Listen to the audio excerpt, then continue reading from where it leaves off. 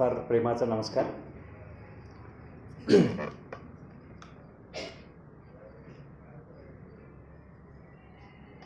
रागिणी रागिणीताई Vyas sir Peshwe sir Bhole sir आणि बंधू आणि भगिनींनो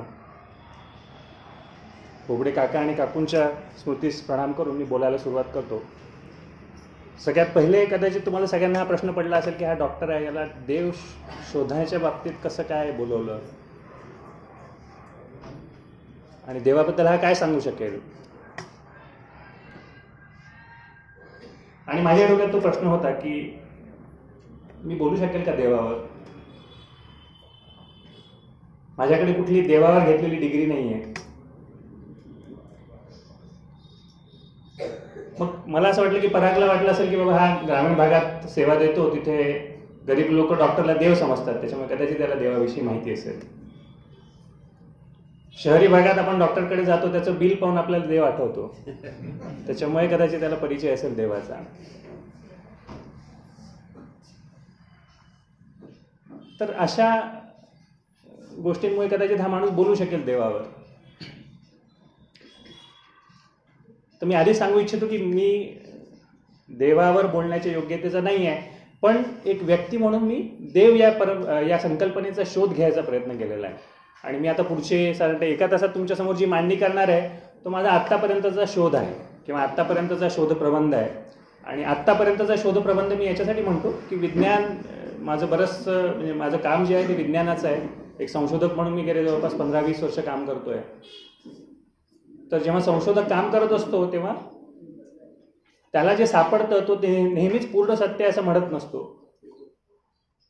जे आधुनिक विज्ञान आहे ते कधीच आज जे आम्हाला सापडलं ते पूर्ण सत्य आहे असं म्हणू शकत नाही. तो फक्त एवढं म्हणू शकतो की आज मला जे सापडलेलं आहे ते आतापर्यंतचं मला सापडलेलं सत्य आहे. त्याच्यामुळे शोध देवाचा याविषयी बोलताना मी आतापर्यंत मला सापडलेलं काय देव आहे ते मी तुमच्याशी शेअर करणार आहे. आपल्याला सगळ्यांनाच देव हा विषय कुतूहलाचा असतो कन्फ्युजनचा असतो. मलाही तसंच झालं. मी मला आधी देव याविषयी प्रचंड कन्फ्युजन होतं. मग विज्ञानात काम करायला लागल्यावर थोडंसं कुतूहल यायला लागले. काय हा प्रकार काय? आहे आणि मग हळूहळू गेले तीन चार वर्ष त्याची अनुभूती यायला लागली. म्हणजे अनुभव यायला लागले.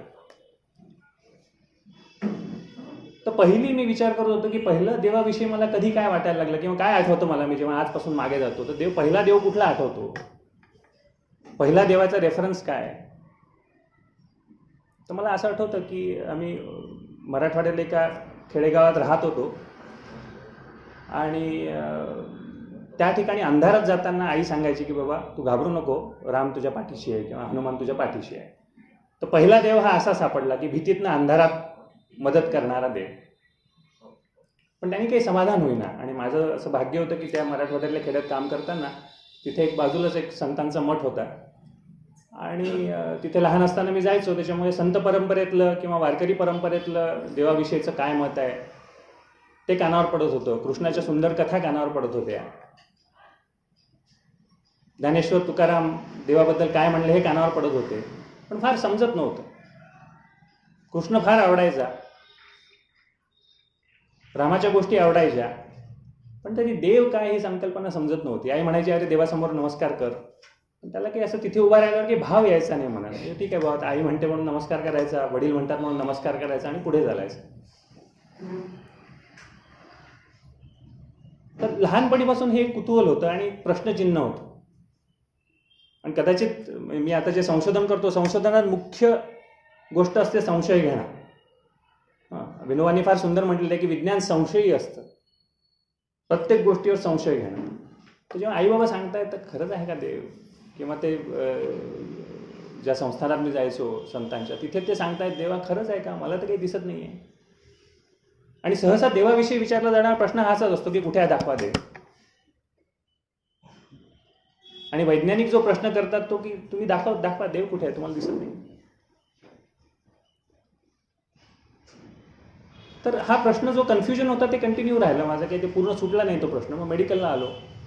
आणि मेडिकलला आल्यानंतर जन्ममृत्यू फार जवळून दिसायला लागला. आणि स्पेसिफिकली मृत्यू. मग असं वाटायला लागलं की जे बाबा ते जे देवाची भक्ती असते देवाची भक्ती करतात ते मरतात का बरं? हा देव आहे हा सगळं तुम्हाला प्रोटेक्ट करणारा आहे. त्यांना आजार का बरं होतात? आणि आपल्या सगळ्यांच्या मनात ते प्रश्न येतात की तुकाराम महाराजांनी आजारी पडायला नको अशी आपली अपेक्षा असते. किंवा रामकृष्ण परमहंसांना कुठलाच आजार व्हायला नको अशी आपली अपेक्षा असते. पण ती पूर्ण होत नाही. मग आपण देवावरच प्रश्न घ्यायला लागतो की हे देवाची तर बेटी इतकी भक्ती करतात पण यांना कसा आजार होतो आपल्यासारखा मग त्यांच्यातून आपल्यात काही फरकच नाही आहे की मलाही आजार होतात आणि रामकृष्ण परमहंसांनाही आजार होतात. ते तर देवाचे एवढे भक्त आहेत. त्यांना तर काही व्हायला नको. तर एक अजून एक लेअर ऑफ कन्फ्युजन त्याच्यावर ॲड झाली. पहिले लेअर ऑफ कन्फ्युजन होती की देव दिसत नाही आहे दुसरी लेअर ऑफ कन्फ्युजन होती की देव आहे तर बेटा काय करत काही करताना दिसत नाही आहे मी परीक्षेत परीक्षेला जायचो. साधारणतः एक वीस वर्षापूर्वी मी इथे मेडिकलला परीक्षेला यायचो. यायच्या आधी देवाला नमस्कार करून जायचो. की बाबा मला परीक्षा जरा चांगली जाऊ दे. आणि ते जायचो पेपरमध्ये कधी? यायचं म्हणजे मला जे अपेक्षित आहे ते यायचं प्रश्न कधी या नाही यायचा. त्याच्यामुळे काही गॅरंटी नाही आहे बा देवाची हा. काही गॅरंटीड असा देव नाही आहे. तर हा प्रश्न बेटा कंटिन्यू राहिला. आणि जेव्हा मेडिकलमध्ये आम्ही शिकत असतो म्हणजे शिकत असताना आम्हाला एखादं पेशंट जर का समजून घ्यायचं असतं तर आम्हाला हिस्ट्री घ्यायला शिकवली जाते. त्याला आम्ही हिस्ट्री म्हणतो. काय हिस्ट्री म्हणतात ते मला माहीत नाही पण त्याला हिस्ट्री म्हणतात. हिस्ट्री टेकिंग असं त्याचं नाव असतं. हिस्ट्री टेकिंग म्हणजे काय? की जाऊन डिटेल अभ्यास करायचा की या माणसाला पहिला त्रास कधी सुरू झाला दुसरा त्रास कधी सुरू झाला तिसरा त्रास कधी सुरू झाला. आणि या सगळ्यांचा वापर करून मग तुम्ही तपासणी करायची तुमची आणि मग एक निदान काढायचं. म्हणजे ही जी सगळी माहिती हिस्टॉरिकली आलेली माहिती ती घेणं तुम्ही स्वतःची तपासणी किंवा पडताळणी करायची. गरज पडल्या तर काही टेस्ट घ्यायच्या आणि मग फायनल डायग्नोसिसवर यायचं. तर मला लक्षात आलं की हा छान अप्रोच आहे बेटा. की मला देव काय आहे समजत नाही आहे तर देव काय आहे समजायला मी हा अप्रोच वापरू शकेल का? म्हणजे काय? तर पहिले देवाची हिस्ट्री काय आहे? आपण देवाची हिस्ट्री घ्यायची. मग आपण पडताळून पाहायचं आपण तपासणी करून पाहायचं. आणि मग शेवटी डायग्नोसिस करायचं की देव आहे की नाही? तर म्हणून तो अप्रोच घेऊन मी देव या विषयावर विचार करायला लागलो. आणि मग विचार करायला लागलो की देव कधीपासून आहे? देव आधी होता का? पृथ्वी झाली त्याच्या आधी देव होता का? नंतर होता का? काही याचं उत्तर नाही सापडलं मला. पण देव कधीपासून देव लोक मानायला लागले हे थोडं थोडं आता आपल्याला माहिती आहे. साधारणतः मानव जातीचा इतिहास असा आहे की होमोसेपियन्स जे आपण आहोत सध्या ते साधारणतः तीन लाख वर्षापासून आहोत. पृथ्वीवर. आणि जी आपल्याकडे तोकडी माहिती आहे आता साधारणतः दोन हजार वर्षाच्या मागे गेलं की आपले गणितं सगळे चुकायला लागतात. आपण काळ मोजण्यामध्ये खूप चुका होतात. पण काही लोकांचं असं म्हणणं आहे की साधारणतः एक लाख वर्षापासून देव आणि रिलिजन या गोष्टी आहेत. एक लाख वर्षापासून. आदिवासी जमातींमध्ये गेलं तर तुम्हाला तिथे देव सापडतो. पण आपला घरचा देव आणि आदिवासी देव हा थोडासा वेगळा असतो. आदिवासी देवां आपण गावांमध्ये गेलो तर काय दिसतं की एक लाकडाचा तुकडा असतो त्याला ते देव म्हणतात. दगडाची एक मूर्ती असते त्याला ते देव म्हणतात. मी मध्ये बंगलोर जवळ गेलो होतो तर त्याच्या ठिकाणी एक सुंदर एक मोठं झाड होतं तोच त्यांचा सगळ्यात मोठा देव आहे. जंगलातलं एक झाड हा त्यांचा सगळ्यात मोठा देव आहे. तर आदिम काळापासून आदिवासी लोक हे देव मानत होते. देव म्हणजे काय? तर स्पिरिट मानत होते. की काहीतरी एक स्पिरिट असतं आणि ते सगळीकडे असतं. ही ती मान्यता होती. आणि सगळीचकडच्या आदिवासी समाजात ती होती. हे मोठं इंटरेस्टिंग आहे. मग याच्यावर एक प्रश्न निर्माण होतो की जेव्हा जेव्हापासून माणूस होता तेव्हापासूनच होता का? याचं आपल्याकडे पूर्ण उत्तर नाही आहे सध्या. म्हणजे सध्या आपल्याकडे माहिती आहे ती साधारणतः एक लाख वर्षापासून देव आहे. तीन लाख वर्षापासून जर का माणूस असेल तर तीन लाख वर्षापासून देव होता का? आणि मग नंतर साधारणतः बारा हजार ते चौदा हजार वर्षापासून हळूहळू हळूहळू देवासोबत धर्म किंवा आपण ज्याला ऑर्गनाइज रिलिजन म्हणतो ते यायला लागले. नुसतं देव म्हणून चालेल का हो? समजा आपण इमॅजिन करू की सगळे सांगतात की नुसता एक देव आहे नुसता एक देव आहे. त्यांनी काही होईल का? त्यांनी काही होत नाही. तर त्याच्या भोवती एक ऑर्गनाइज रिलिजन लागतो. ऑर्गनाइज रिलिजनमध्ये काय असतं? एक देव असतो. आणि देवाकडे जायसाठी एक उपासना पद्धती असते. काही त्याचे नीती नियम असतात. आणि एक कायदा असतो. तुम्ही कुठल्याही ऑर्गनाईज रिलिजनमध्ये गेलं तर या चार ते पाच गोष्टी तुम्हाला सापडतात. एक देव असतं. एक नीतिमत्ता असते. एक कायदा असतो. उपासना पद्धती असते. आणि सहसा जे आपले भांडणं होतात वेगवेगळ्या ऑर्गनाईज रिलिजनमध्ये ते उपासना पद्धतीवरून असतात. देव एक आहे याच्याबद्दल काही कुठल्याच धर्माचं दुमत नाही आहे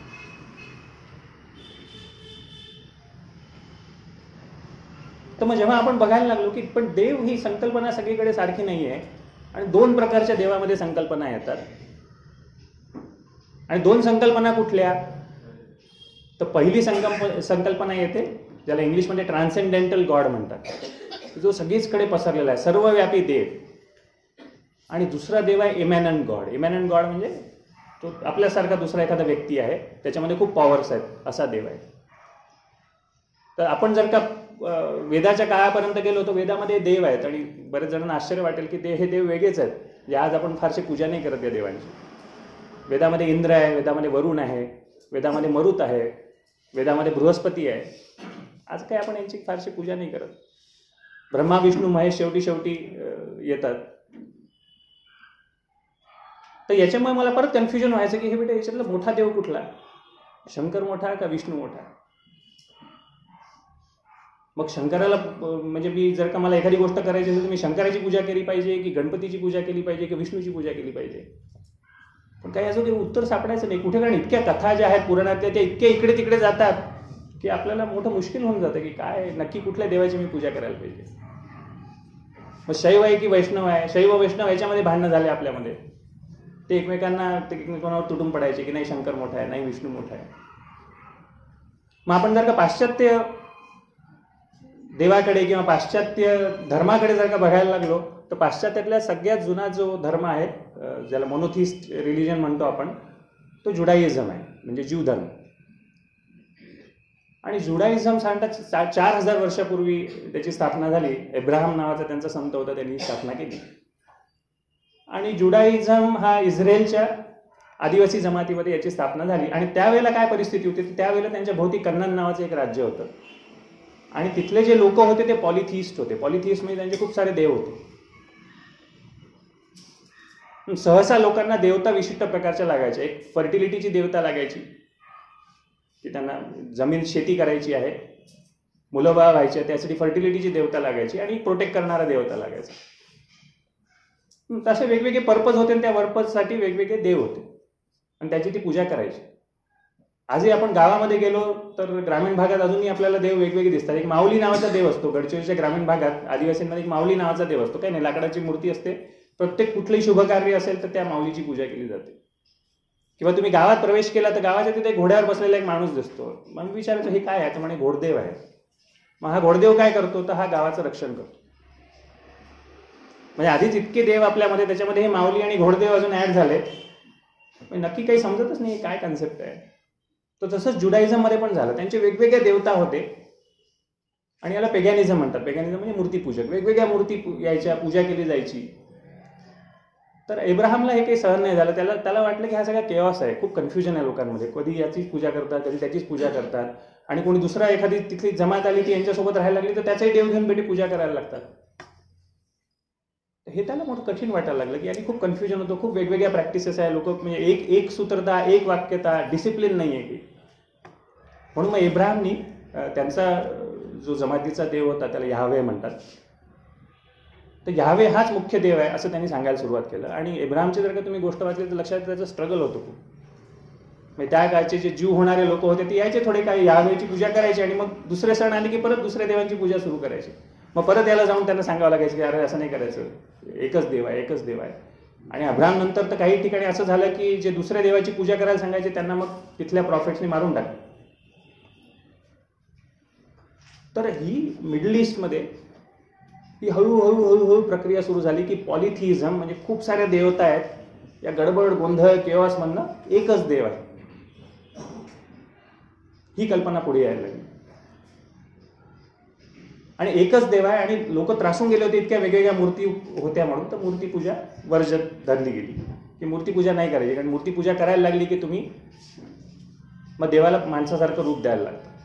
तर हळूहळू हळूहळू जुडायझम जुडायझम नंतर ख्रिश्चियनिटी आणि नंतर इस्लाम यांच्यामध्ये हे सगळे हळूहळू प्रकार झाले की जिथे हळूहळू हळूहळू मूर्तीपूजेकडनं एकच देव आहे.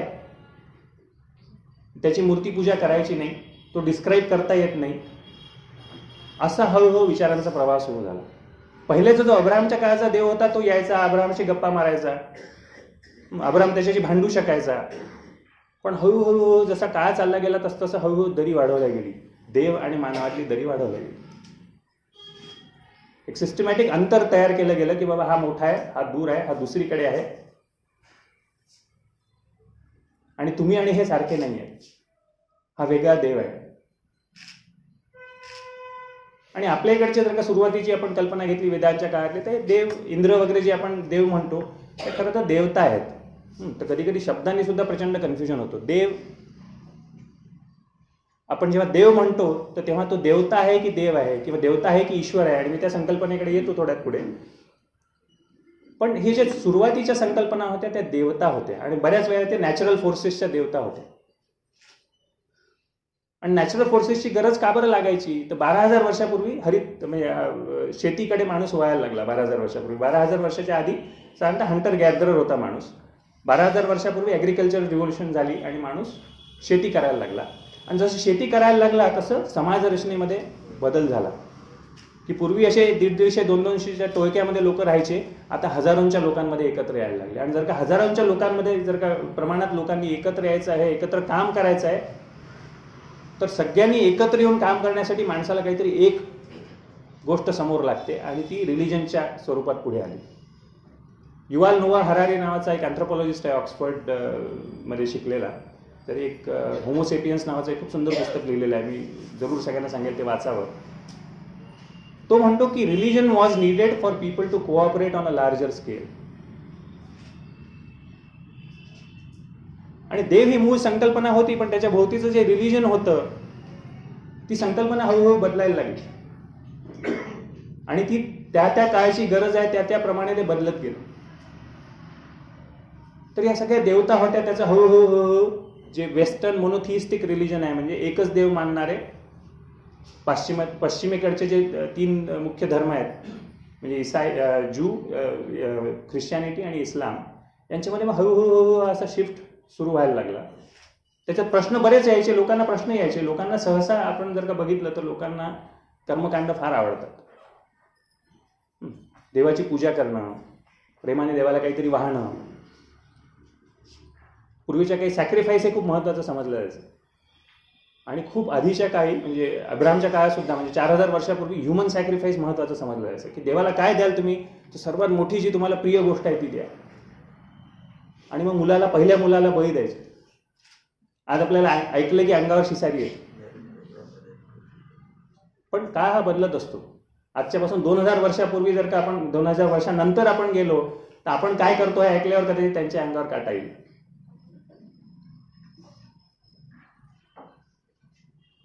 तर सॅक्रिफाईस सॅक्रिफाईसला खूप महत्त्व दिलं गेलं. पूजा करणं किंवा आपल्याला जी आवडती गोष्ट आहे सगळ्यात ती दुसऱ्या म्हणजे ती देवाला देणं हे खूप महत्त्वाचं ठरलं गेलं. वेदिक काळामध्ये खूप सारे सॅक्रिफाईस व्हायचे ॲनिमल सॅक्रिफाईस व्हायचे. आणि जसं मी सांगितलं की अब्रामच्या काळामध्ये तर ह्युमन सॅक्रिफाईस व्हायचं. अजूनही काही आदिवासी भागांमध्ये ह्युमन सॅक्रिफाईस होतं. तर आपल्याला खूप ती वाईट प्रॅक्टिस वाटते पण त्याला एक हिस्ट्री आहे मग पहिले ह्युमन सॅक्रिफाईसवरून ॲनिमल सॅक्रिफाईसवर यायला लागले. तर असं ॲनिमल सॅक्रिफाईस सुरू झालं आणि इतके विविध म्हणजे माणसामध्ये विविधता ही जन्मजातच असते. प्रत्येक गोष्ट विविध पद्धतीने करायला माणसाला आवडते. तर सगळीकडे जर का खूप विविधता झाली तर कन्फ्युजन होईल. म्हणून एका देवतेच्या दिशेने प्रवास सुरू झाला. आणि मग भारतामध्ये साधारणतः अडीचशे अडीच हजार वर्षापूर्वी गौतम बुद्ध आले.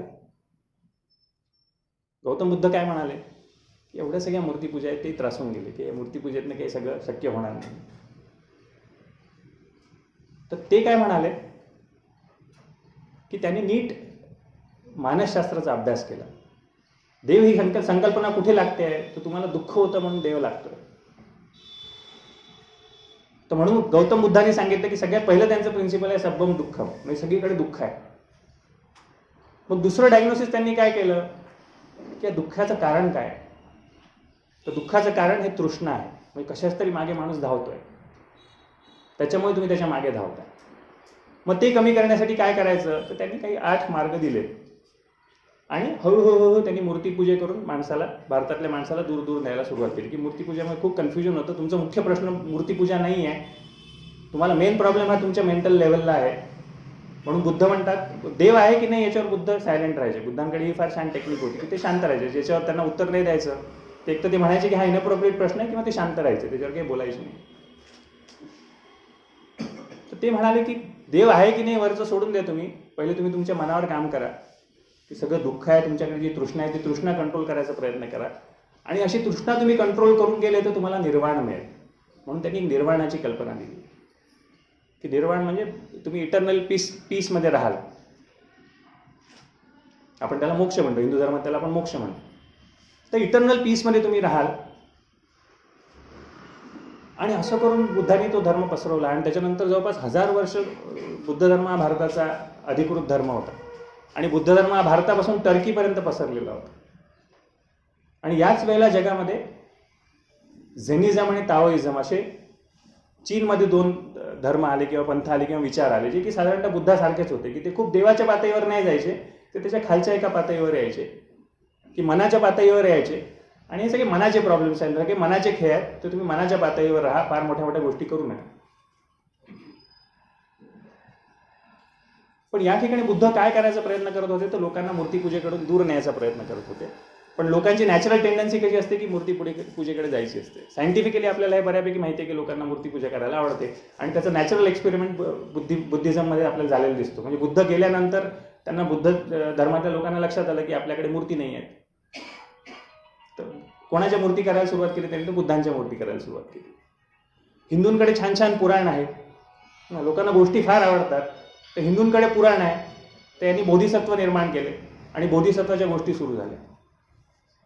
आणि जो हिंदू जो बुद्ध धर्म हिंदू धर्माच्या विरुद्ध उठाव करून गेला तो हळूहळू हिंदू धर्मासारखाच दिसायला लागला. आणि त्याची वेगळी गरज अशी राहिलेली नाही.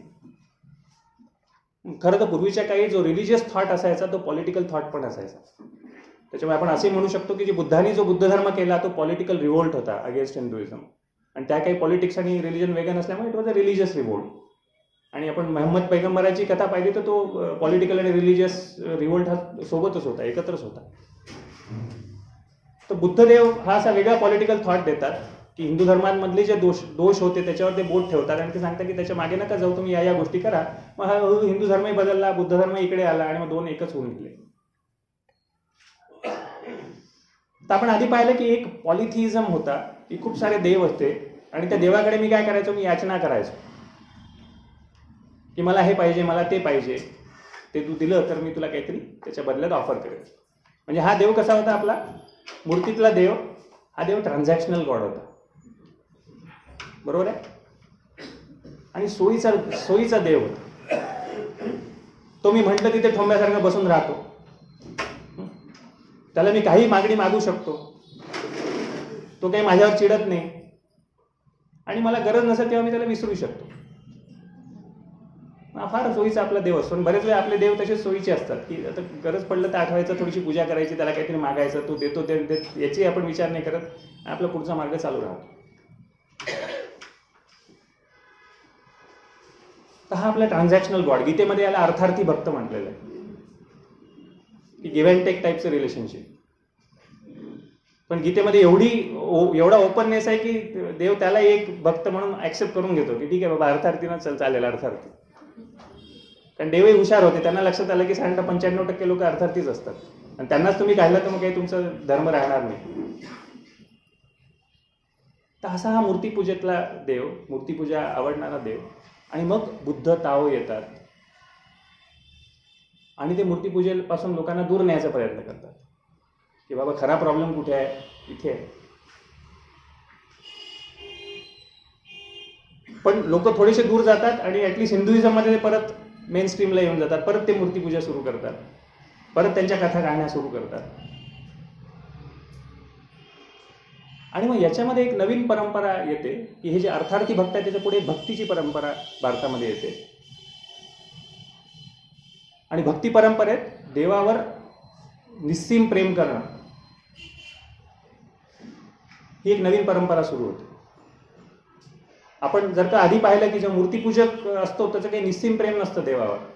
तो तात्पुरता समोर बसतो त्याला काहीतरी ऑफर करतो काहीतरी मागतो. ट्रान्झॅक्शन संपतं मग he is busy with his own life पण भक्ती परंपरेमध्ये त्याच्यानंतर बुद्ध जे सांगतात ते निर्गुण देवाची पूजा करा असं सांगतात किंवा निर्गुणतेकडे नेतात देवावर प्रश्नचिन्ह उत्पन्न करतात.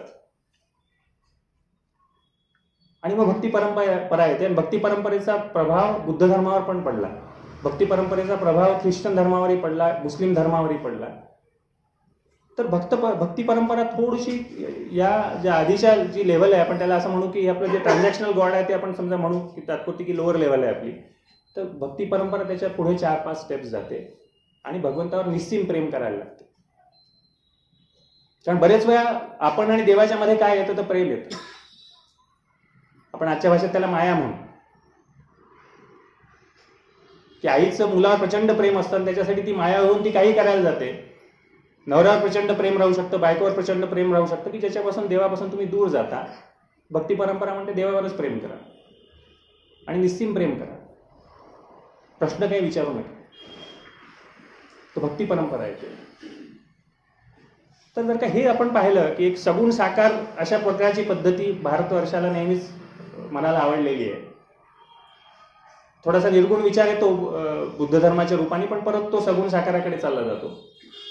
जर का आपण पाश्चात्य धर्म पाहिले तर सगुण साकारा करून निर्गुण निराकाराकडे अशी त्यांची प्रवास आहे. पूर्णपणे निर्गुणाकडे जात नाही किंवा पूर्णपणे निराकाराकडे ते जात नाहीत. उदाहरणार्थ इस्लामचं जर का उदाहरण घेतलं तर त्यांचा जो देव आहे तो सगुण निराकार मानला जातो. इस्लाम मूर्तीपूजेला मानत नाही कारण मूर्त्या तुम्ही तयार करायला लागले की तुमचे देव परत वेगवेगळे दिसायला लागतील परत कन्फ्युजन होईल. म्हणून ते म्हणतात मूर्त्या करूच नका. कन्फ्युजन करूच नका. पण तरी इस्लाम धर्मामध्ये सुद्धा हा त्रास होतो. जर का निर्गुण सगुण निराकार आहे तर तो इमॅजिन कसा करायचा? आपल्याकडे काही काही साधन नाही झालं आपल्याकडे काही सिम्बॉल नाही आहे आणि कुठली गोष्ट करायला आपल्याला सिम्बॉल लागतोय? आपण ही म्हणू शकतो की मानव हा सिम्बॉलिकच आहे. म्हणजे माझा जन्म झाला मला योगेश नावाचं नाव दिलं गेलं. माझं खरंच नाव योगेश होतं का? हे सिम्बॉलिक आहे. माझं नाव योगेश हे सिम्बॉलिक आहे. की माणसांच्या एका मोठ्या समूहामध्ये मला जर का ओळखायचं असेल तर नाव नसलं तर मोठा प्रश्न येईल.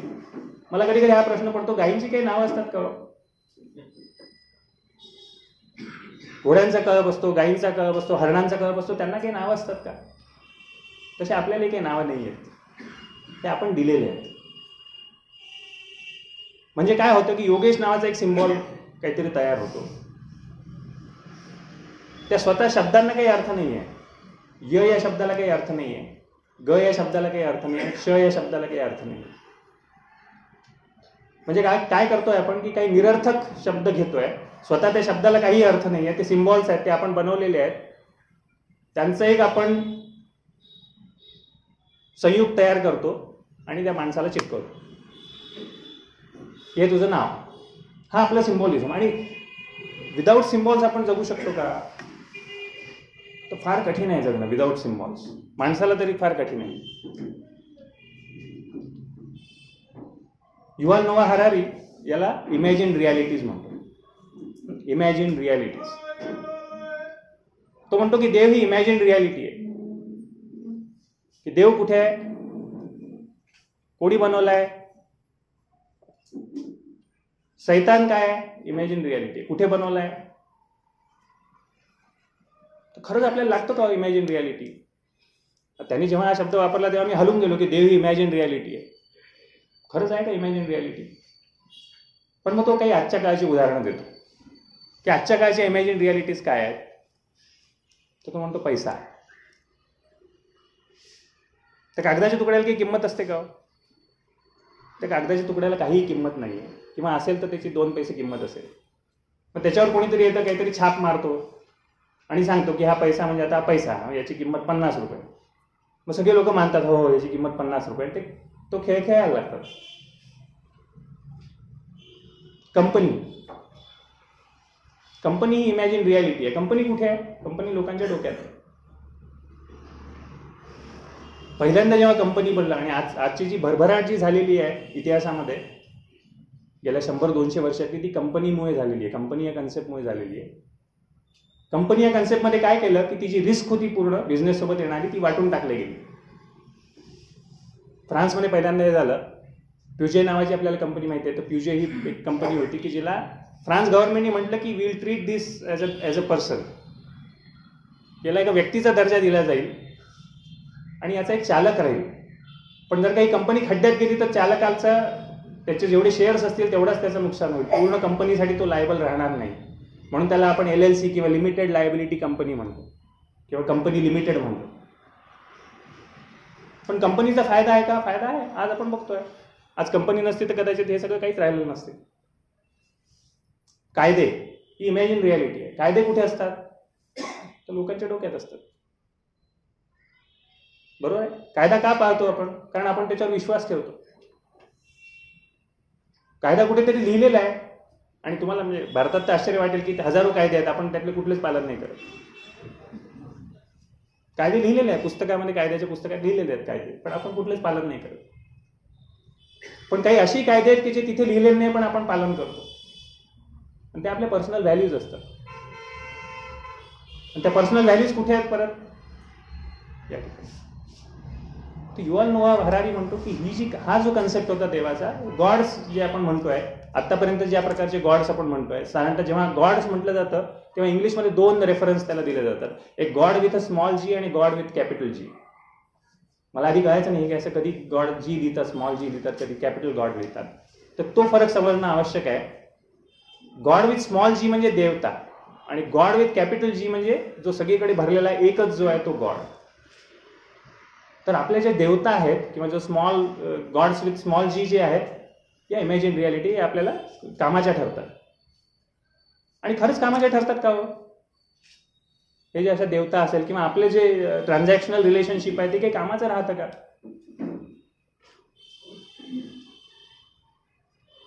देवाच्या विषयात दोन महत्त्वाचे वैज्ञानिक प्रश्न विचारले जाऊ शकतात एक तर देव आहे का? आणि दुसरा देवाचा काही उपयोग आहे देव या संकल्पनेचा काही उपयोग आहे का? आणि जसं मी आता सांगितलं की युवाल नोआ त्याला इमॅजिन रियालिटी म्हणतो. आपण संकल्पना म्हणतो त्याला. तर दुसरा प्रश्न पहिला प्रश्न तर कठीण आहे की देव आहे का? तो शोधणं सध्याच्याच विज्ञानाच्या मदतीने कदाचित कदाचित कठीण आहे सध्या. पण देवाचा उपयोग आहे का हा मात्र नक्की सायंटिफिक चांगला प्रश्न होऊ शकतो आणि याच्यावर बरंच आज सायकॉलॉजीमध्ये रिसर्च चालू आहे. की देव आहे की नाही सोडून द्या. पण देवाचा उपयोग आहे की नाही याच्यावर मात्र जरूर संशोधन करता येईल. आणि आज तंत्रज्ञान इतकं समोर आलंय की ते आपल्याला ते करण्यासाठी काही आपल्याला साधनं मिळालेली आहेत. तर देवाच्या संकल्पनेचा काही उपयोग होतो का? त्याच्यातलं मी जर का सगळ्यांना विचारलं की कोणी देव पाहिला आहे का तर बहुतेक कोणी हात वर करणार नाही अशी माझी अपेक्षा आहे. पण ज्यांना मी विचारलं की तुम्हाला देवाचा फायदा होतो का तर सगळे हो म्हणतील. मला नाही वाटत कोणी नाही म्हणेल. म्हणजे देव आहे की नाही कोणी मान्य करायला म्हणजे माहीत नाही आपल्याला पण तरी सगळे मान्य करतात की देव हा युजफुल आहे. आज जगातले पंच्याऐंशी टक्के लोक देवावर विश्वास ठेवतात. म्हणजे काहीतरी तर होत आहे. लोक तर काही गाढव नाही आहे सगळेच्या सगळे की देव म्हणजे काही युसलेस आहे तरी लोक वापरत आहेत तर याचा फायदा कसा होतो? देव या संकल्पनेचा फायदा कसा होतो?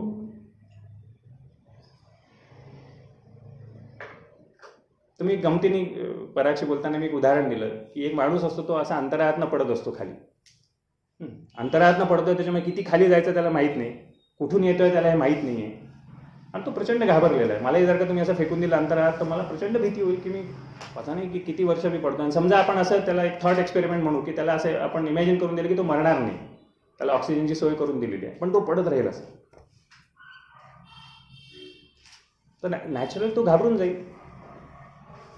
आणि तो असा पडत असतो अंतरामधनं आणि त्याला एक दुसरा ओंका दिसतो पड त्याला एक रस्त्यात ओंका दिसतो तर तो पकडून घेतो. आणि पकडून घेतल्यावर त्याला काय वाटणार आहे?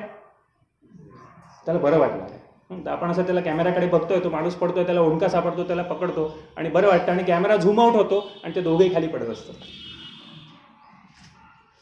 तर देव ही तशी संकल्पना आहे. देव ही संकल्पना जी देवता जी संकल्पना आहे ती माणसाने बनवलेली आहे. आणि माणसाने बनवलेली आहे आणि त्याला माणसाने त्याला समाधान मिळतं. दुसरं मी उदाहरण देतो. की देव या संकल्पनेचा कसा फायदा होऊ शकतो? की एक मोठी विहीर आहे त्याच्यात एक माणूस पडलेला आहे त्याला वर यायचं काही साधन नाही आहे एक माणूस आहे की तो देवावर विश्वास नाही ठेवत दुसरा माणूस आहे देवावर विश्वास ठेवतो. तर जो देवावर विश्वास नाही ठेवतो थोडासा धडपड करेल आणि तो थांबून जाईल. जो देवावर विश्वास ठेवतो तो त्याला पक्की श्रद्धा आहे की मला काहीतरी देव येईल नक्कीच. तो तो पॉझिटिव्ह स्टेट ऑफ माइंडमध्ये जातो आणि तो काहीतरी धडपड करत राहतो. म्हणजे देव या संकल्पनेमुळे माणूस पॉझिटिव्ह स्टेट ऑफ माइंडमध्ये जाऊ शकतो. आणि पॉझिटिव्ह स्टेट ऑफ माइंडमध्ये गेला तर माणसाकडे जेवढ्या त्याच्याकडे कॅपेबिलिटीज आहेत तो त्याचा पूर्ण वापर करू शकतो. नाही तर आपण आधीच हिंमत हरतो. बरोबर? आपण माणसाशी बोलतो तेव्हा कॉन्फिडन्स नाही आहे म्हणतो. कॉन्फिडन्स नाही आहे म्हणजे काय? की त्याला त्याला शुअर नाही आहे की हा म्हणजे मी एखादी गोष्ट करायची मी करू शकेल की नाही. पण ते त्याच्या मनात आहे की नाही देव आहे आणि देव देवाची इच्छा आहे की मी करायलाच पाहिजे. तो सगळी ताकद पडायला लावतो आणि पलीकडे जातो. आणि अशी अनेक उदाहरणं आहेत आपल्याकडे. की विश्वास ठेवून तो पार तरून गेला. आणि आता नवीन जे संशोधन येत आहे त्याच्यात असंही दिसत आहे की त्यांनी बघितलं की कॅन्सर सर्व्हायवर्समध्ये किंवा कॅन्सर असलेल्या पेशंटमध्ये जे देवावर विश्वास ठेवतात आणि विश्वास ठेवत नाही त्यांच्यात काही फरक आहे. तर फरक आहे. जे देवावर विश्वास ठेवतात त्यांची क्वालिटी ऑफ लाईफ चांगली आहे त्यांचं सर्व्हायवलही थोडंसं जास्ती म्हणजे फारच मजेदार आहे बघा की देव मीच माझ्या मनात तयार केलेला आहे. आणि तोच मला मदत करतो तोच मला हेल्प करतो. तर याचा अर्थ काय की मी मनात गोष्टी इमॅजिन करू शकतो संस्कार मनात इमॅजिन करू शकतो. आणि त्याने मी एका हळूहळू एका आपला एका एका भूमिकेमध्ये मी जाऊ शकतो. आणि तसं जगू शकतो.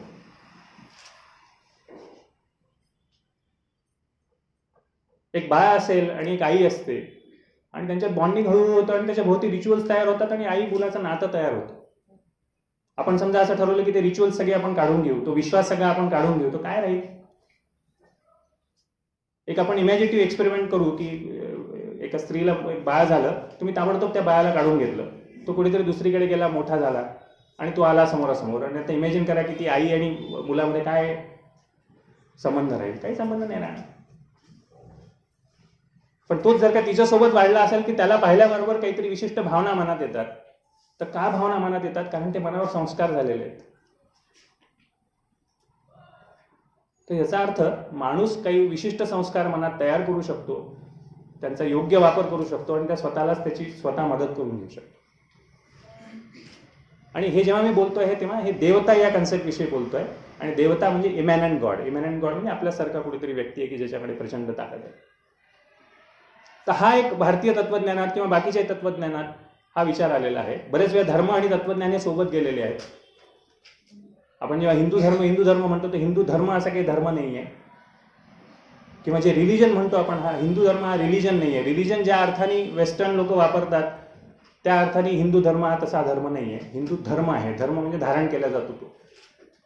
याचा अर्थ प्रत्येकाचा इथला धर्म वेगवेगळा आहे. आणि ती जास्ती सायंटिफिक डेफिनेशन आहे धर्माची. म्हणजे भले मी हिंदू आहे पण मी इथे लोकांचा जर का छळ करतोय तर मी लोकांचा छळ करणार आहे. माझा की हिंदू धर्म नाही आहे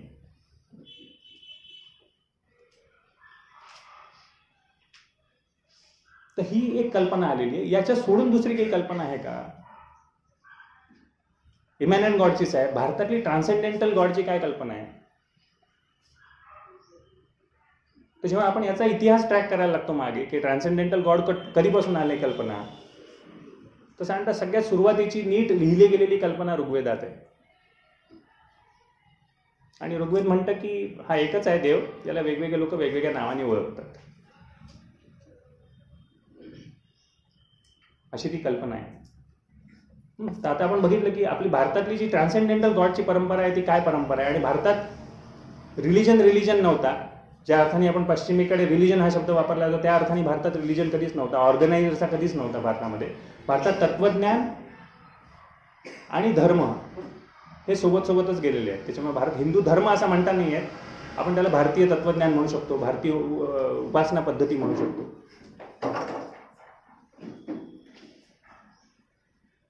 आणि याच्यामध्ये काय याच्यामध्ये काय भूमिका होती? आपण जर का पाहिलं तर पाश्चात्य पाश्चात्यांची जी इस्लाम किंवा ज्यू किंवा मुस्लिम धर्मामधले जे प्रॅक्टिसेस होत्या त्या मध्ये मध्ये अशा झाल्या की त्या इंटॉलरंट झाल्या खूप. की तुम्ही काही आमच्या विरुद्ध बोललं तर तुम्हाला मारूनच टाकलं जाईल. असे कितीतरी सायंटिस्ट चर्चच्या काळात मारले गेले. मग भारतामध्ये कसं असं व्हायचं की भारतामध्ये असं मारून टाकलं जायचं का? तर भारतामध्ये मारून टाकण्याची परंपरा नव्हती. केरन आमस्टॉंग नावाची एक थिओलॉजी या विषयावर अभ्यास करणारी स्त्री आहे. तिने एक हिस्ट्री ऑफ गॉड नावाचं पुस्तक लिहिलेलं आहे. तर त्याच्यामध्ये ती सांगते की जर का जेव्हा जुडाइझम इस्लाम किंवा ख्रिश्चनिटी या काळात होते तर कोणाचं मत पटलं नाही त्याला मारून टाकलं जायचं. पण भारतात बुद्धिझममध्ये ती कंपेअर करते तर काय व्हायचं? तर बुद्धाला प्रॉब्लेम नाही यायचा. एक म्हणजे तेहतीस कोटी देव आहे एक अजून ॲड झाला तर बुद्धाला काही फरक नाही पडला. आणि ती फार सुंदर म्हणते की बुद्धाला लक्षात आलं की अशा देवतांची काही त्याला गरज नाही. ही हॅड आउटग्रोन गॉड्स अशी ती म्हणते. की या संकल्पनेच्या पलीकडे गेलेले होते बुद्ध. तर आपली काय परंपरा होती? भारतातली काय परंपरा होती? तर वेदामध्ये एक नासदीय सुक्त म्हणून भाग आहे. आणि त्याची एक त्यातली एक प्रार्थना आहे. खूप वर्षापूर्वी भारत एक खोज नावाची एक सिरियल होती. काही लोकांनी ऐकली असेल काही लोकांनी नसेल तर त्याची सुरुवातीचं टायटल सॉन्ग होतं ते फार सुंदर आहे. ते मी म्हणून दाखवतो. आणि हे नासदीय सुक्तातलं आहे त्याचं हिंदीमधलं त्यांनी फार सुंदर भाषांतर केलेलं आहे. आणि त्याची सुरुवातच अशी होते बघा. सृष्टि से पहले सत नहीं था असत भी नहीं अंतरिक्ष भी नहीं था आकाश भी नहीं था। छिपा था क्या कहा किसने देखा था? असं तो प्रश्न विचारतो. म्हणजे काय? प्रश्नाची परंपरा होती. की ऋग्वेदात तो म्हणतोय मला माहीत नाही काय सृष्टीच्या आधी काय होतं हाही त्याला प्रश्न पडतोय. आणि तो कम्फर्टेबल आहे याचं उत्तर नाही आहे माझ्याकडे. हेच उत्तर आहे तू हेच पालन केलं पाहिजे असा त्याच्यात कुठलाही अट्टहास नाही आहे. त्याच्या पुढच्या काही ओळी अशा येतात की तो पुढचा प्रश्न विचारतो सृष्टी का कौन हे करता. करता है या अकर्ता. मग तो पुढे म्हणतो की उचे आसमान में रहता सदा अध्यक्ष बना रहता. वही सचमुच मे जानता. असं तो म्हणतो की त्याचं कदाचित तो जो वरती बसलेला आहे तो त्याला माहिती आहे आणि तोच कदाचित ओळखू शकत असेल. आणि मग पुढे तो म्हणतो या नाही भी जानता. म्हणजे एक आहे कोणीतरी बसलेला वरती त्याला माहीत असेल कदाचित त्यालाही माहीत नसेल. आणि ही खूप मोठी विचारांची झेप आहे. की हा माणूस कम्फर्टेबल आहे की नाही माहीत तरी काय हरकत नाही. कदाचित त्याला माहीत असेल कदाचित त्याला माहिती नसेल. आणि त्याच्या पुढे तो म्हणतो की हे किसी को नाही पता है किसी को नाही पता. म्हणजे त्याला माहिती आहे की नाही हेही मला माहीत नाही. आणि ॲब्सोल्युटली कम्फर्टेबल आहे. आणि ही परंपरा मग पुढे उपनिषदांमध्ये येते. आणि उपनिषदांमध्ये एक ब्रह्म नावाची कल्पना यायला लागते. आणि ब्रह्म ही फार सुंदर कल्पना आहे. आणि उपनिषदातले जे ऋषी होते वेगवेगळे त्यांनी ही कल्पनेचा हळूहळू विकास केला. तर ही पण एक कल्पनाच आहे. आणि ब्रह्म याविषयी त्याची काय कल्पना आहे? तर छांदोग्य उपनिषद म्हणतं की सर्वम खलु इदम ब्रह्म. हे सगळंच ब्रह्म आहे. ते काय म्हणतात हे ब्रह्म आहे हे सगळीकडे भरलेलं आहे त्याला डिफाईन नाही करता येत कारण एखादी गोष्ट डिफाईन करायची आहे तर त्याच्याकडे ऑब्जेक्टिव्हली बघावं लागतं. आणि तुम्ही ऑब्जेक्टिव्हच नाही आहात असं ते म्हणतात. की सगळीकडे ब्रह्म भरलेला तर तुझ्यातही ब्रह्म भरलाय तर तू त्याला ऑब्जेक्टिव्हली डिफाईन नाही करू शकत. आणि सांगताना त्यांनी खूप छोटी छोटी सुंदर उदाहरण दिलेले आहे छांदोग्य उपनिषदातलंच हे उदाहरण आहे. अरुणी नावाचा एक ऋषी असतो. आणि त्याचा श्वेतकेतू नावाचा मुलगा असतो तो तो श्वेतकेतू जातो शिकायला बारा वर्ष. आणि शिकून आल्यावर तो येतो आणि मोठा अहंकारात असतो. आणि अरुणीला लक्षात येतं की हा खूप अहंकार झालेला आहे. मग याला तो सांगायला तो ज्ञान द्यायला खरी सुरुवात करतो. मग अरुणीला म्हणतो तू जा आणि एक पाणी एक ग्लास पाणी घेऊन ये आणि त्याच्यात मीठ टाक. तर तो मीठ टाकतो. आता रात्री ठेवून देतो. दुसऱ्या दिवशी तो विचारतो की अरे श्वेतकेतू मीठ कुठे आहे? तो म्हणतो अरे याच्यात विरघळलेला आहे. तर तो म्हणतो अच्छा ठीक आहे. मग तू वरचं एक चमचा पाणी घे. मग तो एक वरचा चमचा पाणी घेतो. म्हणे कसं आहे? खारट आहे. मग ठीक आहे. आता बहुतेक वरच्या याच्यात मीठ आलं असेल तर मधल्या याच्यात जा. मधल्या याच्यात घेऊन पाहतो खारट आहे. खाली याच्यात घेऊन पाहतो खारट आहे. तर मग म्हणे तू आता हे टाकून दे पाणी. तो टाकून देतो. मग त्या पाण्यात मीठ आहे का? म्हणे आहे. पण कुठे आहे? मला तर दिसत नाही आहे. तो म्हणतो त्यात विरघळलेलं आहे. तर तसंच तो सांगतो की हे ब्रह्म सगळं विरघळलेलं आहे. हे आपल्याला दिसत नाही वेगळं. ते आहे त्याच्यात पण ते दिसत नाही. आणि नंतर तो म्हणतो विलक्षण शब्द आहे की हे जे तत्व आहे श्वेतकेतू हेच तू आहेस. आणि संस्कृतमध्ये त्याला तत्वमसी असं म्हणतो. की अरे हे हे जे सगळं तत्व आहे विरघळलेलं तेच तू आहेस. तर उपनिषदांच्या काळात तीन खूप महत्त्वाच्या अनुभूती माणसाला झाल्या किंवा तीन कल्पना माणसाच्या मनात आल्या. आणि याला मी आपलं आपलं असं म्हणत नाही की हे भारतीय आहे किंवा आपलं असं मी म्हणू म्हणू इच्छित नाही हा मानवी अनुभव आहे. आणि जेव्हा आपण जगातल्या वेगवेगळ्या गोष्टींकडे मानवी अनुभव म्हणून पाहतो तेव्हा आपण जास्ती सेक्युलर राहू शकतो. आपण नाही तर आपल्याला मग डोक्यात सुरू होतं की नाही मी उच्च मी नी- तू खालचा असं असं मनामध्ये भेदभाव सुरू होतात. तर म्हणून मी या काळात वेदाच्या किंवा उपनिषदाच्या काळात मानवी मनात ही कल्पना आली. आणि त्या कल्पना तीन मुख्य त्यातले वाक्य कुठले? की पहिली कल्पना होती की सर्वम खलु इदम ब्रह्म म्हणजे हे सगळंच ब्रह्म आहे. दुसरं जे श्वेतकेतूला सांगतो की तत्वमसी की तेच तू आहेस बाबा. आणि तिसरं त्याच्यावरची झेप जी आहे ती अहम ब्रह्मास्मी म्हणजे मीच ब्रह्म आहे. तुम्ही जा सगळे खड्ड्यात मीच ब्रह्म आहे. आणि ही विचारांची प्रचंड मोठी झेप आहे. ही प्रचंडच मोठी झेप आहे विचार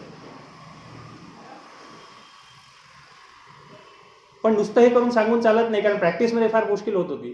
म्हणजे असं नाही की उपदेशात होऊन गेल्यानंतर सगळे ते प्रॅक्टिस करायला लागले. प्रॅक्टिसेसमध्ये अजून आपल्याला मूर्ती आपण काही सोडायला तयार नाही. त्याच्यानंतर मग सहा वेगवेगळे जे आपले दर्शन होते षट षट दर्शन त्याच्यात वेगवेगळे विचार आले. की त्याच्यात एक असा विचार असायचा की प्रकृती आणि पुरुष आहे एक स्त्री तत्व आहे आणि पुरुष तत्व आहे. मग दोघं एकत्र मिळून सृष्टी बनवतात. कारण सगळ्यांना वे जे- जेव्हा तेव्हाचं जे वेळ होतं की ते हे बनतं कसं सगळं सुरू कसं होतं कोण चालवतं हे महत्त्वाचे प्रश्न होते. हे नेहमी मान मानवाला पडत आलेले प्रश्न आहे हे सगळं चालतं कसं? तर मग ते एक्सप्लेन करायचा प्रयत्न केला की नाही एक प्रकृती असते मग पुरुष असतं. मग कोण सुप्त असतं? कोण जागृत असतं? मग त्याच्यात भांडणं सुरू झाले की कोण मोठं? प्रकृती मोठी की पुरुष मोठे? आणि मग ते वादावादी चालले आणि त्याच्यावर खूप असे भरभरून ग्रंथ लिहिले गेले आपल्याकडे. पण जेव्हा आपण जो देव म्हणतो तो तो तो देव तो कुठेतरी आकाशात बसलेला आहे आणि मी वेगळा आहे तर याच्यामध्ये एक द्वैत निर्माण होतं. द्वैत म्हणजे ते वेगळं मी वेगळं. आणि या द्वैताचं खंडन करायचं काम शंकराचार्यांनी केलं. शंकराचार्य येतात म्हणतात अद्वैत आहे. याचे काही काही वेगळं काहीच नाही आणि जर का आपण आज पाहिलं आपल्याला की आपल्याला सगळ्यात जास्त दुःख कशात नव्हतं तर दुःख द्वैतातनं निर्माण होतं. की तो दुसरा त्यांनी माझं चोरलं किंवा त्यांनी माझं ऐकलं नाही. हे आपले जे नव्याण्णव पॉईंट नाईन टक्के दुःख जे आहेत हे याच्यातनं येतात की द्वैत मन द्वैता म्हणणं येतं की ते दुसरं आहे ते वेगळं आहे. की मु माझा मुलगा आणि मी वेगळा आहोत. तर शंकराचार्य म्हणतात असं काहीच नाही सगळं अद्वैत आहे. आणि बेसिकली शंकराचार्य जी ब्रह्माचीच कल्पना आहे ती पुढे चालवत आहेत आणि ते म्हणतात की सगळीकडे भरलेलं आहे तुम्ही काय म्हणता? आणि मग हे जे दिसतंय तुम्हाला हे काय आहे? तर यालाही काहीतरी नाव द्यायला लागेल. तर त्याला ते म्हणतात माया आहे. ही माया आहे ही खरी नाही आहे इंग्लिशमध्ये सांगायचं हे इल्युजन आहे तुला. तर ही पण खूप मोठी कल्पना आहे. द्वैत वापर करणं आणि द्वैतामध्ये एकमेकाला ठोकणं हे भार राजकारणामध्ये भरपूर झालेलं आहे. Marx Marxism is all about द्वैत. मार्क्स काय करतो? त्याचा सर्कल करतो आणि त्याला एक अशी रेष मारतो. इकडे शोषित आणि इकडे शोषल्या गेलेले. मग काय करायचं? की आत्तापर्यंत हे शोषणारे लोक आहेत ते तुम्हाला त्रास देत आहेत ना याला धरून ठोका. गरज पडली तर गोळ्या घाला. म्हणजे मार्क्सिझम द्वैत तत्वाला वाढवतो. आणि आजही जर का आपण पाहिलं तर राजकारणातले हे प्रमुख जी ऊर्जा येते ती ती फूट पाडून येते द्वैत करून येते. भारतीय संस्कृतीत जर का आपण आधीपासून विचार घेतला तर हा अद्वैताचा विचार आहे जो फार मोठा विचार आहे. आणि तुम्ही जर का पाहिलं की हे कशात नाही येतं? हे सगळं इन्सिक्युरिटीत नाही येतं आपल्याला. आणि इन्सिक्युरिटी ते द्वैतातनं निर्माण होते. मी जेव्हा विचार करतो की मी ॲक्च्युली देवाकडे जेव्हा गेलो परीक्षेच्या आधी त्याला मी म्हणजे नमस्कार केला. तर मी कशासाठी मी काय मागत होतो त्याला? तर मला थोडीशी मनाला शांती हवी होती. आणि मला भीती वाटत होती की नक्की त्या परीक्षेत काय येणार तर मनाला शांती आणि इनसिक्युरिटी या दोन गोष्टींसाठी आपल्याला देव लागतो प्रामुख्याने. मॅक्झिमम वेळा इन्सिक्युरिटी असते. आणि तुम्हाला जिथे जिथे लक्षात येईल की जिथे जिथे इन्सिक्युरिटी आहे तिथे तिथे देवाचं प्रस्थ जास्ती असतं. कृषी किंवा शेतकीय समाजामध्ये देवाचं महत्त्व खूप जास्ती असतं. कारण सगळीच इन्सिक्युरिटी आहे. पाऊस येईल की नाही गॅरंटी नाही. आला पाऊस तर ठीक सगळं चालू असताना एकदम कीड येते शेतावर. शेतावर कीड नाही आली छान तिथलं धान्य झालं मी काढून ठेवलं पाऊस येतो. ही सगळी इन्सिक्युरिटी आहे. माणसाला भीती वाटत असते आणि सोडायचं नसतं. तृष्णा असते. ते सोडायचं नसतं आणि ते सोडायचं नसतं आणि सगळंच मिळायला पाहिजे नाही मिळालं तर मग रडतो मी. तर रडायला कोण पाहिजे? देव आहे रडायला आपल्यासाठी. तर आपण या अद्वैत तत्वातनं आपण देवाकडे पाहायचा प्रयत्न करतो. तर अद्वैत फिलॉसॉफी पण भारताकडे भारतामध्ये आहे किंवा इथे विचार येऊन गेला तर. मग मी विचार करायला लागलो की याच्यातले कुठल्या जे दोन प्रकारचे देव आहेत एक ट्रान्सेंडेंटल देव आहे की जो सगळीकडे भरलेला आहे. उपनिषद त्याला ब्रह्म म्हणतात की जो सगळीकडे व्यापलेला सगळीचकडे आहे. आणि दुसरा इमॅनंट गॉड आहे की जो असा कुठेतरी बसलेला आहे. याच्यापैकी कुठलं विज्ञानाला शोधता येईल? तर विज्ञानाने पहिली आपली कल्पना होती की इमॅनंट कन्सेप्टमध्ये की देव आकाशात बसलेला आहे आता आपल्याला बऱ्यापैकी माहिती आहे की आकाशात कुठे काही दिसत नाही देव. तुम्ही मोठे मोठे टेलिस्कोप्स आहेत आपल्याकडे वरती बघितलं तर काही कोणाला आपल्याला देव काही दिसणार नाही. त्याच्यामुळे विज्ञानाने हा जो इमॅनंट गॉड आहे हा अगदी कन्व्हिन्सिंगली रिफ्यूट केलेला आहे. पण हा जो ट्रान्सेंडेंटल गॉड आहे याच्यामध्ये काही विज्ञानाला आहे का? सापडलं का काही? काही गती झाली का? आणि जवळपास शंभर दीडशे वर्षापूर्वी ही गती नव्हती. कारण आपल्याकडचं जे प्रमुख शोधायचं साधन सा साधन होतं ते ज्या पद्धतीचं विज्ञान होतं त्याच्यामध्ये एक त्याच्या मागची एक स्वतःची संकल्पना होती. रेने देकार नावाचा एक फ्रेंच सायंटिस्ट होऊन गेला. त्यांनी काय सांगितलं की हे जग सगळं असं मशीन्सचं बनलेलं आहे. की तुम्हाला एक एक एक एक प्रक्रिया कळली की तुम्हाला सगळं कळून जातं. म्हणजे तुम्हाला जर का एखादं मशीन चालवायचं आहे आणि त्याच्या प्रत्येक भागाची मला जर का प्रॉपर्टी कळली तर I can design a machine आणि त्यांनी हे तो पुढे नेलं एक स्टेप की मग माणसाला मी तसं डिस्क्राईब करू शकतो. आणि तो म्हणतो की मी अगदी मिनिमल तुम्ही मला सेटअप एझम्शन्स द्या त्याच्यावरून माणूस हा बनू शकतो मशीनसारखा हे रेने देकारची मांडणी होती. रेने देकार दुसरं म्हणतो की जे फिजिकल आहे तेच खरं आहे. जे फिजिकल नाही आहे त्याला काही अस्तित्व नाही ही थोडीशी ग्रीकांकडनं चालत आलेली विचारसरणी आहे. ग्रीकांमध्ये पण याच्यावर विचार झाला. की ग्रीसमध्ये प्लेटो आणि अरिस्टॉटलने देवाच्या संकल्पनेवर विचार केली आणि त्यांची कल संकल्पना मी तुम्हाला सांगतो. प्लेटो समजायचा की देव हा असीम सौंदर्यासारखा आहे. की जे जे काही जगात असीम सौंदर्य आहे तो देव आहे. आणि आपल्या इकडे ती येते. तुम्ही जर का बघितलं विष्णू सहस्त्रनामातल्या वेगवेगळ्या जर का वर्णनं बघितली देवाची तर जे अगदी परफेक्ट आहे ते देव आहे अशी माणसाची संकल्पना आहे. ॲरिस्टॉटल त्याला म्हणतो अनमूड मूवर आहे. स्वतः तो हलत नाही पण तो सगळं जग चालवतो. पण तो सगळीचकडे आहे असंही ॲरिस्टॉटल मानतो. केरन आमस्ट्रॉंग मान मानते की हा जो विचार आहे हा भारतातनं तिथे गेला असं तिचं म्हणणं आहे. पण रेने देकारचं सायन्सवर खूप मोठं प्रभुत्व होतं की रेने देकार म्हणायचं एक मशीन असेल प्रत्येक पार्ट शोधा त्या पार्टचं काम शोधा ते काम समजलं पार्ट्स एकत्र आणा यंत्र बनून जाईल. आणि माणूस सुद्धा यंत्र होऊ शकतो. आणि मग न्यूटन जे आपण फिजिक्स जे जाणायला लागलो ते न्यूटॉनियन फिजिक्स होतं की सर्क्युलर बॉडीज आहेत एकमेकाभोवती फिरतात. तर जेव्हा न्यूटॉनियन फिजिक्सपर्यंत होतो तोपर्यंत या दुसरी जी संकल्पना आहे आपली की ब्रह्मतत्व आहे जे सगळीकडे भरलेलं आहे त्याला काही एक्सप्लेनेशन नव्हतं. त्याच्यामुळे आपण देवाला दोन्ही फ्रंट्सवर रिफ्यूट केलं. की इमॅनंट गॉडी नाही आणि ट्रान्सेंडेंटल गॉडी काही असं दिसत नाही. त्याच्यामध्ये खरी खळबळ जी सुरू झाली ती क्वांटम फिजिक्स आल्यानंतर सुरू झाली. आणि पेशवेसर इथे बसलेले आहेत. तर क्वांटम फिजिक्सनी फिजिक्सचे सगळे फाउंडेशन हलवून टाकले. आता काय क्वांटम फिजिक्स ते आपण थोडं थोडं समजून घेऊ. आणि अगदी सोप्या भाषेत मी सांगतो की जेणेकरून फार कॉम्प्लिकेटेड ते होणार नाही. तर क्वांटम फिजिक्स यायच्या आधी काही मजेदार शोध लागत गेले. फॅरेडे नावाचा एक सायंटिस्ट होता. त्यांनी काय केलं? की त्यांनी एक मॅग्नेट घेतलं एका कॉईलमध्ये टाकलं वायर्सच्या आणि ते मॅग्नेट जोरात फिरवलं. आणि त्याला लक्षात आलं की इलेक्ट्रिसिटी तयार होते. की एक मॅग्नेट घ्यायचं जोरजोरे फिरवायचं कॉईलमध्ये मॅग इलेक्ट्रिसिटी तयार होतात. त्याला समजत नाही तयार कशी होते? काही कॉन्टॅक्ट नाही आहे त्या मॅग्नेटचा आणि त्या वायरचा किंवा मॅग्नेटिझममध्ये तसंच होतं की आपण एक चुंबक घेतो आणि तिथे दूर लोखंडाचे कण असतात ते यायला लागतात त्याच्याकडे. मध्ये काहीच नाही आहे मध्ये काहीच नाही ते येतं कसं काय? आणि काही असं एक्सप्लेन करता येत नाही मध्ये काय.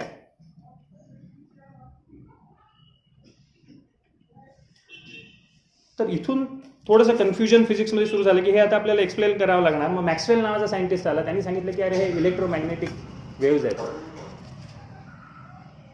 या वेव्ज आहेत. आणि हर्ड्स नावाचा सायंटिस्ट येतो आणि तो सांगतो हर्ड्स ॲक्च्युली येऊन सांगतो. पहिले इलेक्ट्रोमॅग्नेटिझम आहे असं मॅक्सवेल सांगतो. आणि हर्ड्स येऊन सांगतो की या वेव्ज आहेत. म्हणजे याच्यामधलं जे असं दिसतंय आपल्याला जे अदृश्य आहे त्याच्यामध्ये वेव्ज आहेत जे आपल्याला दिसत नाही आहे आणि त्या वेव्ह झाल्यानंतर जी क्रांती झाली ती आपल्याला सगळ्याला माहिती आहे. टेलिफोनचा शोध त्याच्यातनं लागला रेडिओ टेलिव्हिजन मोबाईल ही सगळी टेक्नॉलॉजी त्यातनं आली.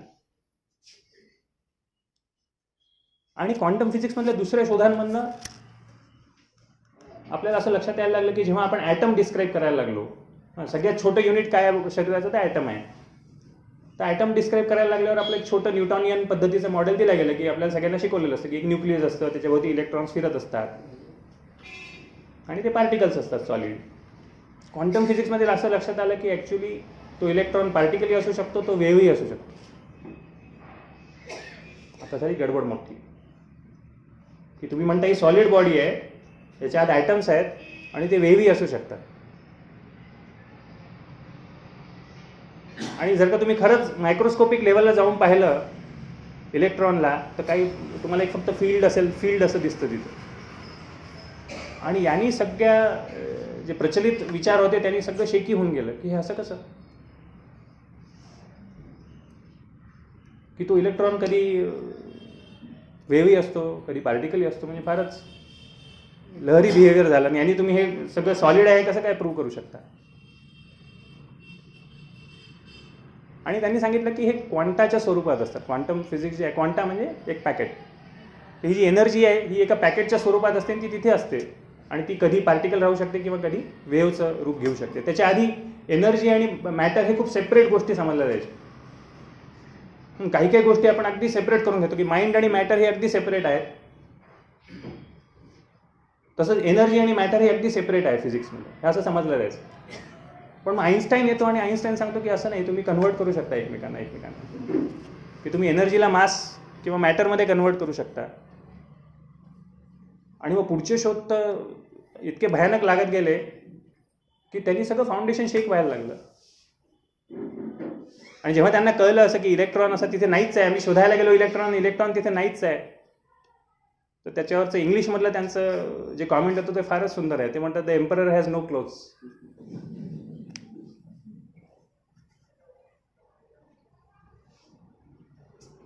आणि तो इलेक्ट्रॉन कधी वेव्ह असतो कधी पार्टिकल असतो. त्याच्यावर एक्सपेरिमेंट केले गेले की एक टू स्लीट एक्सपेरिमेंट केला गेला. की एका थेरेटिकल याच्या मी अगदी सोपं करून सांगतोय त्याच्यामुळे माझ्या फॅक्च्युअल एरर राहू शकते. पेशवेसर असल्यामुळे मला ती गॅरंटी घेणं आवश्यक आहे. तर त्याच्यामध्ये त्यांनी एक स्लिट म्हणजे एक आपण म्हणू की बोर्ड घेतला बोर्डमध्ये अशा दोन स्लिट्स केल्या आणि इकडनं इलेक्ट्रॉन फायर केला. हे आता हे फिजिक्समध्ये केलं जातं. तर तो इलेक्ट्रॉन फायर केला त्याच्याकडे दोन स्लिट्स आहेत. त्यांनी काय करायला पाहिजे? त्यांनी एका स्लिटमधनं जाऊन पलीकडे जायला पाहिजे. तर आपल्याला तो एक तर पार्टिकल म्हणून दिसेल किंवा वेव्ह म्हणून दिसेल. गंमत अशी झाली की तो दोन्ही म्हणून दिसला. तो पार्टिकल म्हणूनही दिसला आणि तो वेव्ह म्हणूनही दिसला. त्याचा अर्थ इलेक्ट्रॉन ठरवतो की मी काय व्हायचं. मी पार्टिकलही होऊ शकतो मी वेव्हही होऊ शकतो. मग त्यांना लक्षात आलं की हे आपण पार्टिकल्स म्हणतो न्यूट्रॉन्स प्रोटॉन्स इलेक्ट्रॉन्स मग त्यांच्या लक्षात आलं की असं दोनच ॲक्च्युली फंडामेंटल पार्टिकल्स आहे इलेक्ट्रॉन्स आणि क्वार्क्स ते न्यूट्रॉन प्रोटॉन्स म्हणतात ते नाही आहे ते ॲक्च्युली क्वार्क्स नावाचे छोटे छोटे पार्टिकल्सचे बनलेले आहेत. पार्टिकल्स म्हणजे काय? क्लम्प ऑफ एनर्जी आणि नंतर त्याच्या पुढचा शोध होता तो अजूनच भयानक होता. ते म्हणतात की ॲक्च्युली एक सगळीकडे पसरलेलं असं एक फील्ड आहे. त्याला क्वांटम फील्ड म्हणतात. आणि त्याच्यामध्ये मी थोडंसं एक्सायटेशन दिलं की मग एक पार्टिकल तयार होतो. आणि तो परत विरघळून जाऊ शकतो त्याच्यामध्ये. तर ही जे क्वांटम फील्डची जी कल्पना आहे ती त्या ब्रह्माशी अगदी रेझोनेट करते. की सगळीकडे काय आहे तर ब्रह्म भरलेलं आहे. आणि ते हे वेगवेगळे फॉर्म्स घेऊ शकतं. आणि इकडे हे म्हणतात क्वांटम फील्ड फिजिसिस्टची भाषा वापरायला लागले क्वांटम फिजिसिस्टची ते म्हणतात क्वांटम फील्ड भरलेलं आहे सगळं. त्याच्यात थोडंसं एक्सायटेशन होतं आणि पार्टिकल बनू शकतो. आणि पूर्वी असं म्हणायचं की व्हॅक्यूममध्ये काही नाही पण आता आपल्याला माहिती आहे की व्हॅक्यूममध्ये क्वांटम फील्ड आहे. त्याच्यात अशी काही एक्सपेरिमेंट्स आहे की ते म्हणतात की तुम्हाला जे काय दिसत आहे ते ते बघणाऱ्याच्या नजरेवर अवलंबून आहे. आणि मग यांनी खरं काय याच्याविषयी खूपच मोठा प्रश्नचिन्ह निर्माण झालं. की तुम्हाला जे काय दिसत आहे त्याच्यावर अवलंबून आहे. म्हणजे तो बघणाऱ्यावर अवलंबून आहे की खरं सत्य काय आहे. तो क्वांटम फिजिक्समध्ये हा जो एमॅनंट गॉड आहे याचं एक्सप्लेनेशन असण्याची शक्यता आहे. आणि आपण जर का त्याला अगदी सोपं केलं की आता मी काय आहे तर मी I am clump of molecules बरोबर आहे? छोटे छोटे माझ्या शरीरामध्ये अवयव आहेत पण ते अवयव बनलेले आहेत प्रोटीन्स कार्बोहायड्रेट्स फॅट्सचे प्रोटीन कार्बोहायड्रेट्स फॅट्स कसे बनलेले आहेत? तर मॉलिक्युल्सचे बनलेले आहेत. मॉलिक्युल्स म्हणजे काय? तर ॲटम्स एकत्र येऊन एक क्लम्प तयार झालेला आहे. तर आपण एक एक्सपेरिमेंट करू की आपण डिझॉल्युशन करू. डिझॉल्युशन म्हणजे मला जर का तुम्हाला डिझॉल्व करायचं आहे तर कसं कराल? तर मला पहिले तुम्ही सुटे कराल अवयव सुटे कराल. अवयवातले आपण म्हणू की प्रोटीन्स कार्बोहायड्रेट्स सुटे कराल. त्यांना आपण अनट्विस्ट केलं तर आपल्याला ॲटम्स मिळतील. ॲटम्सला अनट्विस्ट केलं तर शेवटी एनर्जी मिळेल. म्हणजे थेरेटिकली मी ती एनर्जी घेऊ शकतो. ती एकत्र आणून थोडंसं कॉन्सन्ट्रेट करू शकतो. एक ॲटम बनेल. दोन ॲटम झाले तीन ॲटम झाले असं करत करत करत एक मूर्त स्वरूप बनतं. आणि त्यालाच थेरेटिकली आपण डिझॉल्व्ह करू शकतो. आणि डिझॉल्व्ह करून शेवटी काय उरतं? ते एनर्जी मिळतं. आणि मग हा लाकूड बनवायला आहे किंवा या लाकडात किंवा त्या भिंतीमध्ये काय आहे? तर हे पण क्लम्प ऑफ मॉलिक्युल्स आहेत माझ्याचसारखे आहेत. फक्त त्याचं अरेंजमेंट वेगळी आहे थोडीशी. तर याचा अर्थ माझ्यामध्ये जे आहे तेच या टेबलमध्ये आहे. मला हा नेहमी प्रश्न पडायचा आहे. एम डीमध्ये मी अभ्यास करत असताना मी फार कंटाळून गेलो होतो मेडिकल एज्युकेशनचा तेव्हा फिजिक्सच्या एका फोरमवर मी जायचो आणि मी तिथे विचारायचो की आम्ही लाईव्ह कशाला म्हणतो? लाईव्ह कशाला म्हणायचं? तर लाईव्ह म्हणजे काहीतरी त्याच्यात चल चल आहे गती आहे त्याला. तर मग ॲटममध्ये तर गती आहे स्वतःमध्ये ते फिरत आहेत मग ॲटमला लाईव्ह नाही म्हणायचं का? असा मी प्रश्न एका फोरमवर टाकला होता. त्याचं उत्तर आलं तिकडनं it it is the physicist mind which is dead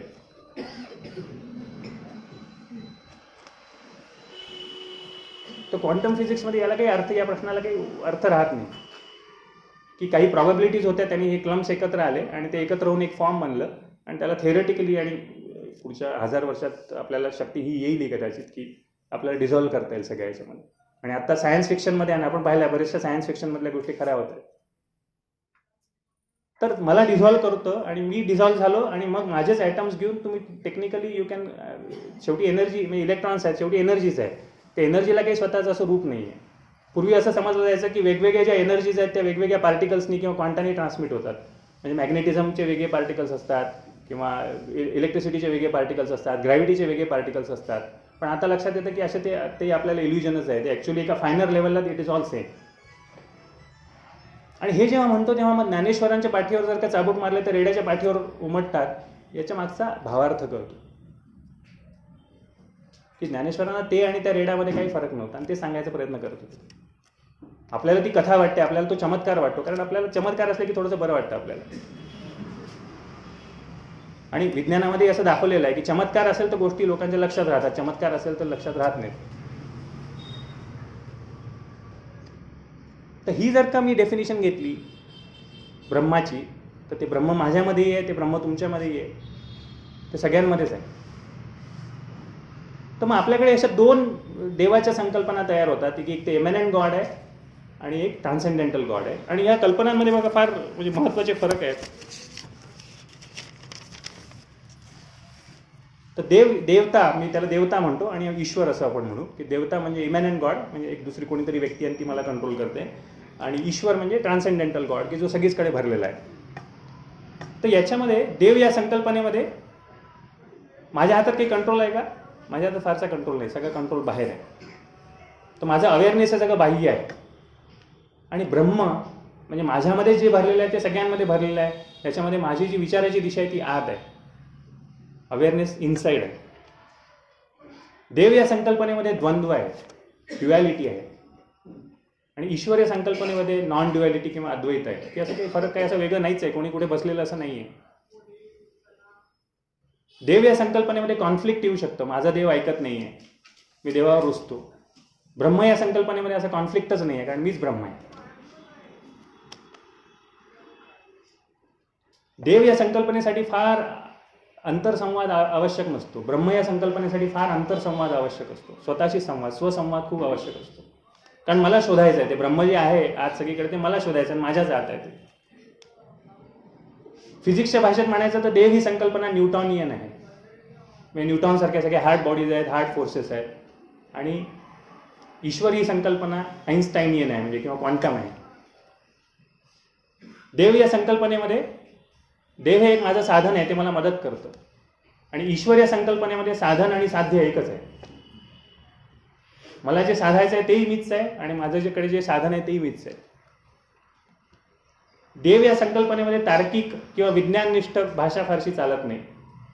ईश्वर या संकल्पनेमध्ये ब्रह्म या संकल्पनेमध्ये ही चालते भाषा. देव या संकल्पनेमध्ये मला भीती आहे. मला भीती वाटते आणि मग देव मदत करतो. ईश्वर या संकल्पनेमध्ये भीतीला वावच नाही भीती नावाचं काहीच नाही आहे. देव या संकल्पनेमध्ये सत्ता आहे. म्हणजे बाहेर कुठली तरी सत्ता आहे ती मला चालवते. ईश्वर या संकल्पनेमध्ये शक्ती आहे. सत्ता आणि शक्ती तसे समान वाटणारे शब्द आहेत पण त्यांच्यामध्ये फार फरक केला आहे आणि विरोबांनी हा फार सुंदर फरक सांगितला आहे की जेव्हा कोणीतरी राज्य चालवतं तेव्हा त्यांची तुमच्यावर सत्ता असते. आणि जेव्हा लोक स्वतःचं राज्य चालवायला लागतात तेव्हा लोकांमध्ये शक्ती असते. सत्ता म्हणजे कोणीतरी तुमच्यावर कंट्रोल करतं तुमच्यावर कंट्रोलर आहे. शक्तीमध्ये तुम्ही स्वतःचेच कंट्रोलर आहात. देव या संकल्पनेमध्ये आधी तुम्हाला विश्वास ठेवावा लागतो आणि मग अनुभूती मध्ये मध्ये येत राहते. बिलीफ लागतो. किंवा फेथ लागतो. किंवा श्रद्धा लागते. पण श्रद्धा आणि विश्वास याच्यामध्ये थोडा थोडा फरक आहे. की श्रद्धा म्हणजे जग सांगताय मला असं होणार नाही तरी मी विश्वास ठेवतो याला श्रद्धा म्हणतात. आणि विश्वास म्हणजे एक विदिन रिझनेबल लॉजिक वापरून मी याच्यावर विश्वास ठेवू शकतो. जसं बँकेत जातो आपण आणि बँकेत जाऊन पैसे काढायचे त्याच्या श्रद्धा लागते की विश्वास लागतो? भारतात दोन्ही लागतं पण तसा विश्वास लागतो. तर विश्वास असतो की होऊन जाईल वा काम. मी कोणाला तरी कॉन्ट्रॅक्ट दिला आहे तर रिजनेबली होऊन जाईल. तिथे श्रद्धेची गरज नसते. तर देव या संकल्पनेमध्ये श्रद्धा आधी येते आणि मग अनुभूती येते. ईश्वर या संकल्पनेमध्ये अनुभूती आधी यायला लागते आणि मग हळूहळू विश्वास बसतो. देव या संकल्पनेला प्रश्न विचारता येतो की कुठे आहे तुझा देव? दाखव. ईश्वर या संकल्पनेत विचारावं लागतं तुझा तू शोध तुझ्या हातच आहे. देव या संकल्पनेमध्ये झटपट सोल्युशन आहे. ईश्वर या संकल्पनेमध्ये प्रचंड अभ्यास आहे. कारण ईश्वराचा बाहेर नाहीच आहे कुठे. तुम्हाला आतल्या आत शोधायचा आहे आणि ती अनुभूती येते आहे का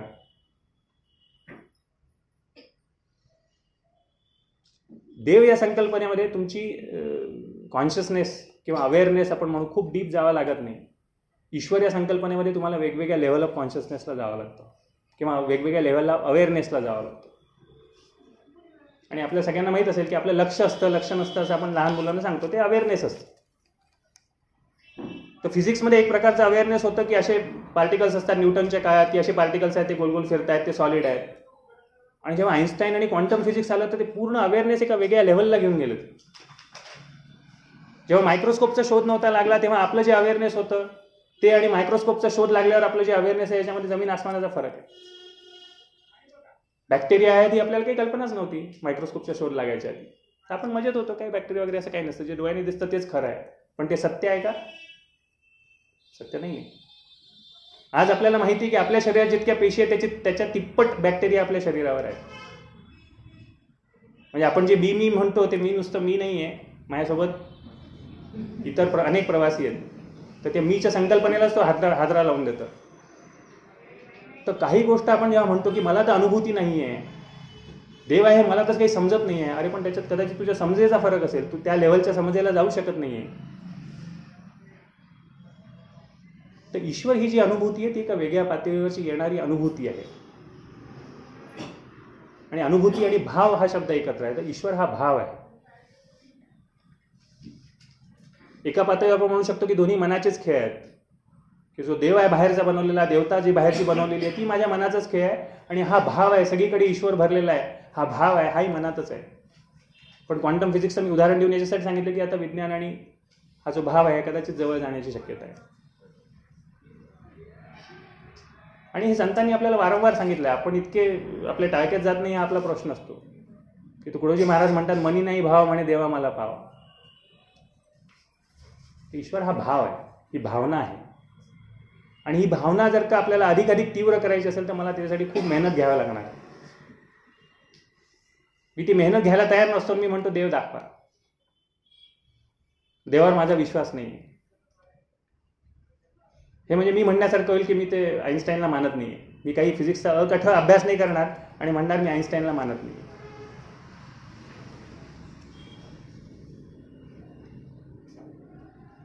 तर हा अभ्यासाचा विषय होऊन जातो हा भावनेचा विषय होऊ शकतो हा भावना विकासाचा विषय होतो.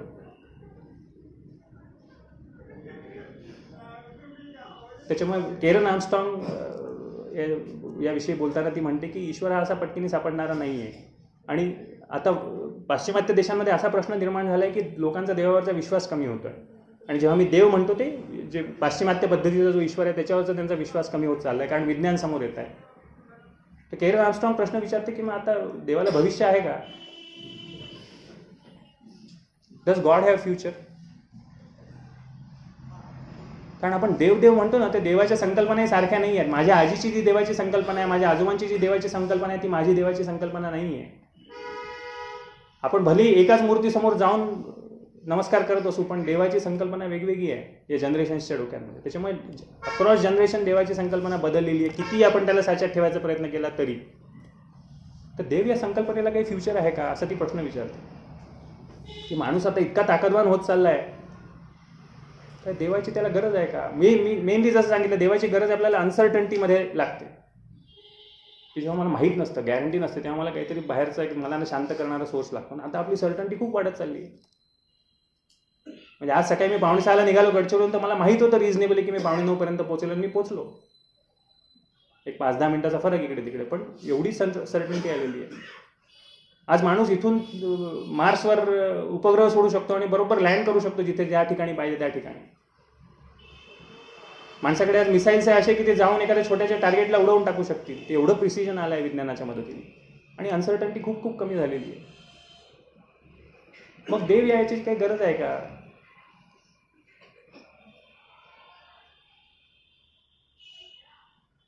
तर शेवटी परत आपण त्या प्रश्नावर येऊन पोचतो की देवाचा काही फायदा आहे का? तर देव नसता समजा. आता आपण असं इमॅजिन करू की देवाची काही संकल्पना नाही ही भाबडी संकल्पना आहे. आणि पाश्चिमात्य देशांमध्ये आता इक्विटी आणि जस्टिस या दोन कल्पना जास्ती समोर मांडल्या जातात. आणि चर्चमध्ये जाणारे लोक हे युरोपमध्ये खूप कमी झाले अमेरिकेत अजूनही चर्चला जाणारे लोक आहेत. पण युरोपमध्ये मात्र हा प्रमाण फार कमी होतं आहे. झपाट्याने कमी होतं आणि रिजेक्ट करताय. जे सध्याचं त्यांचं western concept of god is being rejected by educated people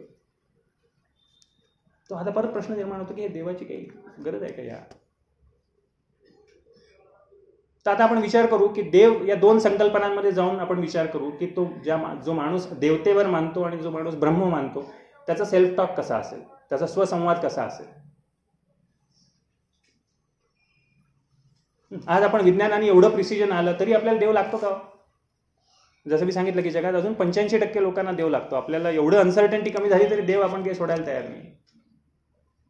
तो तो संकटात असेल तो तो धावा करतो की अरे बाबा ये देव मला वाचव. जो ब्रह्मामध्ये मानतो तो काय म्हणेल? त्याला कॅन्सर झाला तर तो काय म्हणेल?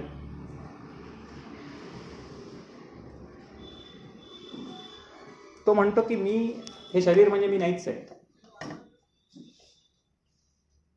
तो म्हणेल की मी शरीरात जन्म घेतला मानवी शरीरात जन्म घेतला तर या मानवी शरीराचे जे प्रॉब्लेम्स आहेत ते मला होणार आहेत. तुम्ही जर काही कार घेतली त्या कारचे जे लिमिटेशन्स आहेत ते तुम्हाला इनहरेंटली येतात.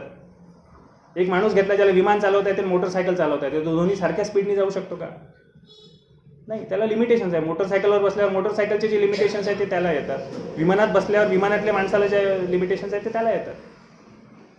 तसं हा ईश्वर मानणारा माणूस काय म्हणेल? हे शरीर आहे याच्या व्याधी होत राहणार आहे. हे मशीन आहे याला याच्यात काहीतरी प्रॉब्लेम येईल आणि एका दिवशी मी मरून जाईल मरून जाईल म्हणजे माझं एक अस्तित्व संपून जाईल पण मी या एनर्जीशी एकरूप होऊन माहीत नाही पुढे काय होईल. पण त्याला काही फार काळजी नसते तिची. की शरीराचे भोग आहे ते मी भोगेल. पण हे नॅचरल हे तो ॲक्सेप्ट करतो की ह्याच्यात काही नॉर्मल नाही आहे देव म्हण देवता मानणारा माणूस फाईट करेल त्याच्याशी खूप सारं. हे मला असंच का झालं? सहसा आपल्या डोक्यात असतं की मलाच का झालं? आणि हा देव काय करत होता तेव्हा? नाही तो आपण जसं काही पगार देऊन पहारेकरी ठेवलेला आहे आपला. आणि हे मजेदार आहे की भारतीय आपण संस्कृतीमध्ये देवाला अनंत कोटी ब्रह्मांड नायक म्हणतो आणि त्यांनी येऊन आपली सेवा करावी असं आपल्याला वाटतं त्याला.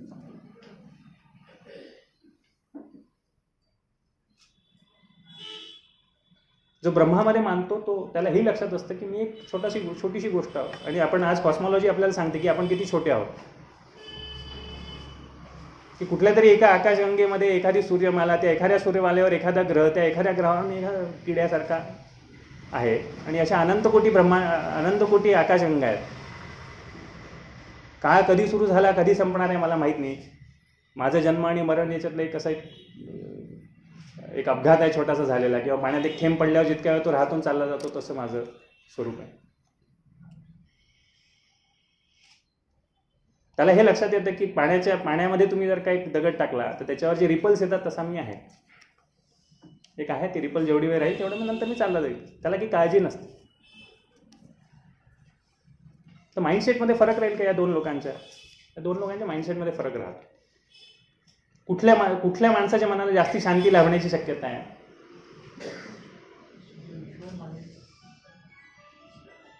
तर दोघांनाही शांती लाभू शकते. ईश्वर जो मानतो त्यालाही शांती लाभेल. देव देवता मानतो त्यालाही शांती लाभते. नाही असं नाही पण त्याला थोडीशी शांती लाभते. परत अशांती येते परत थोडीशी शांती लाभते परत अशांती येते. जो ईश्वर मानतो त्याला काही कसं काही माना मानायची गरजच नाही आहे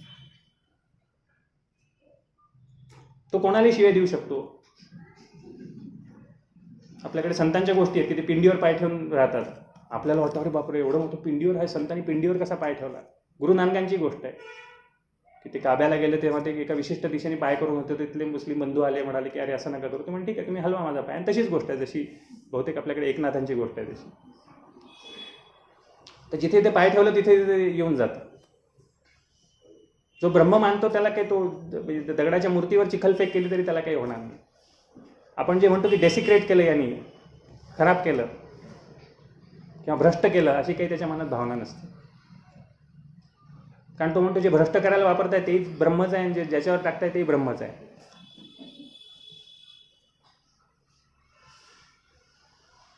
आणि ईशावास्य उपनिषदामध्ये त्याच्यावर फार सुंदर श्लोक आहेत आणि जे विधोबांनी मराठीत आपल्यासाठी ट्रान्सलेट केलं आहे ईशावास्य उपनिषद म्हणतं की हे पूर्ण आहे ते पूर्ण आहे. पूर्णापासून पूर्ण निष्पन्न होते. पूर्णातून पूर्ण काढून घेतली तरी पूर्णच शेष राहते. मॉडर्न मॅथमॅटिक्समध्ये हे गणित करता नाही येत सर सर पण ब्रह्म या कल्पनेमध्ये हे करता येतं गणित. त्याचा काही फरकच नाही तुकाराम देवाला गाढव म्हणतात. जे ज्यांचा विश्वास असेल विठ्ठलावर ते हादरून जातील की हा गाढव कसा म्हणतो तुकाराम?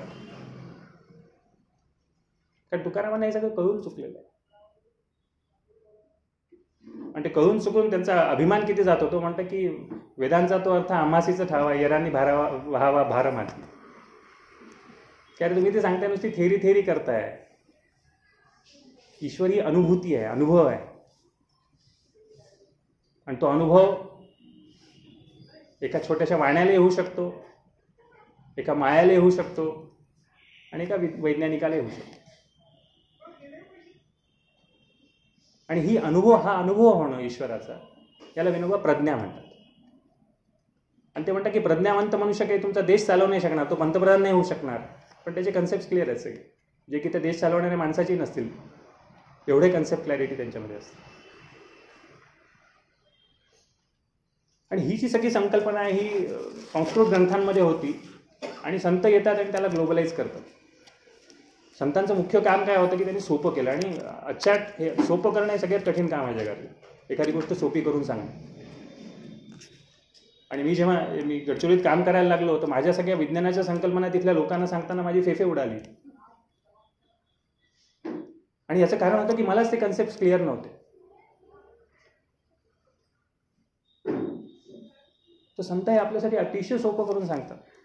आणि तुम्ही जर का बघितलं असेल संत साहित्याचा प्रमुख भर हे मानसिक तुमच्या मनाच्या ठेवणीवर आहे. ते सगळे बोलतायत संत ते तुमच्या मनाशी बोलतायत. गीता हे काय आहे? गीता हे सायकोलॉजिकल टेक्स्ट आहे. गीता हे तुमचे सायकोलॉजिकल फंडे क्लिअर करतं. ते पहिले सांगून देतं की हा देह नश्वर आहे. आणि आत्मा चिरंतन आहे. आणि तुला स्थितप्रज्ञ राहायचं आहे. हे तीन मुख्य गीतेचे संदेश आहेत.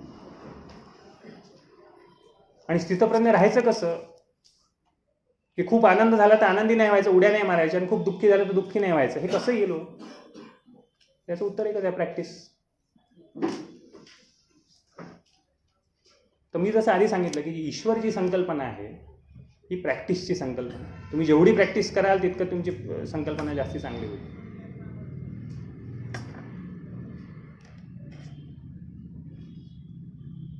प्रॅक्टिस मेक्स मॅन परफेक्ट असं जे म्हणतात ते अगदी ईश्वर या संकल्पनेला तंतोतंत लागू पडतो. मी जेवढं प्रॅक्टिस करेल तेवढं माझं ईश्वर ही संकल्पना मला जास्ती समजेल.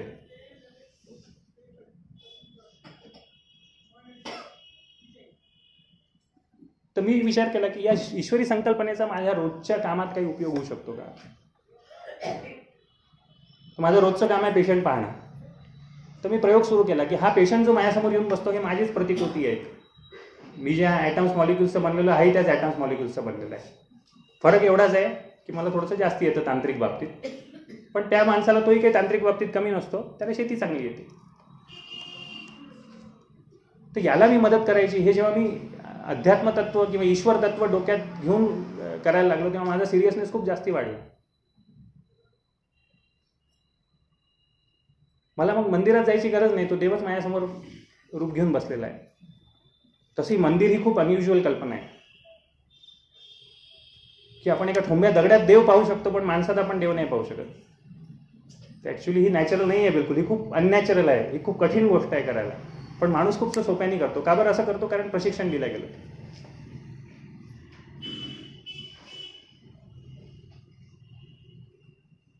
त्याच्यामुळे शाळा हा जो कन्सेप्ट आहे शाळा काय करतात? सगळ्यांचं ब्रेन वॉशिंग करतं सगळ्यांना मेकॅनिक किंवा क्लर्क बनवतं सगळ्यांना सारख्याच गोष्टी पाहायला लावतो. तर विनोबा फार सुंदर म्हणतात त्याला. विनोबा म्हणतात देव दगडातही आहे. दगडातच नाही आपण देव दगडातच पाहतो. तर मग मला लक्षात आलं की माझं प्रोफेशन तर फारच छान आहे की देव माझ्यासमोर येऊन बसतो. मला काही मंदिरात जायची गरज नाही मला काही नारळ विकत घ्यायची गरज नाही का फुल विकत घ्यायची गरज नाही. इथे उलटंच होतं. मलाच फी मिळते. आणि या संकल्पनेकडे तुम्ही बघायला लागता तर माणसाकडे बघण्याचा तुमचा दृष्टिकोन बदलतो पूर्णपणे. आणि हे सोपं असतं जर का समोरचा माणूस छान असेल तेव्हा हे सोपं होतं. समोरचा माणूस कंप्लेन करायला लागला की जरा मोठं कठीण व्हायला लागतं हे प्रॅक्टिस करणं. आणि जसं मी सांगितलं की ईश्वर मानणं ही प्रॅक्टिस आहे.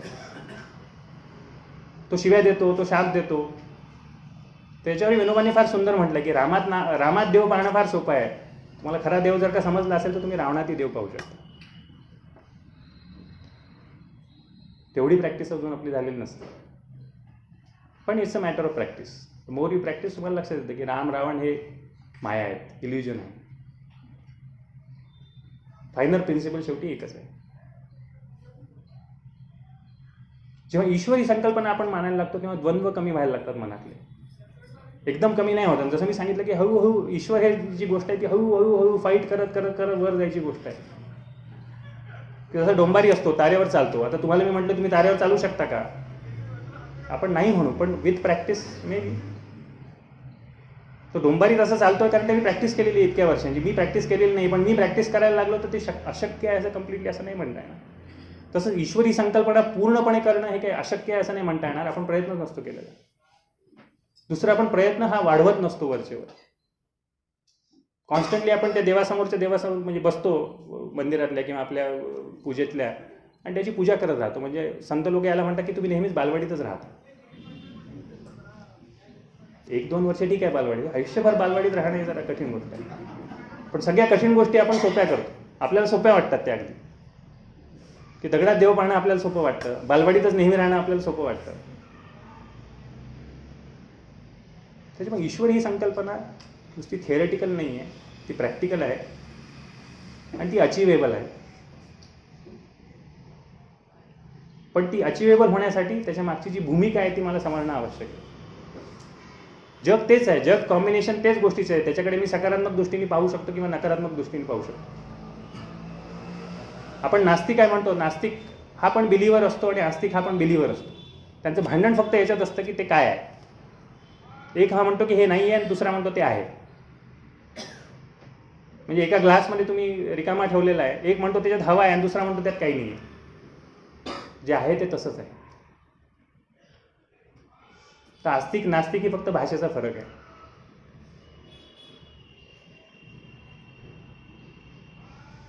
तर आपल्या आपल्याकडे बघण्याचा दृष्टिकोन खूप महत्त्वाचा असतो. आणि जर का ईश्वरी संकल्पना आपण प्रॅक्टिस करायला लागलो तर जगणं सुसह्य व्हायला लागतं.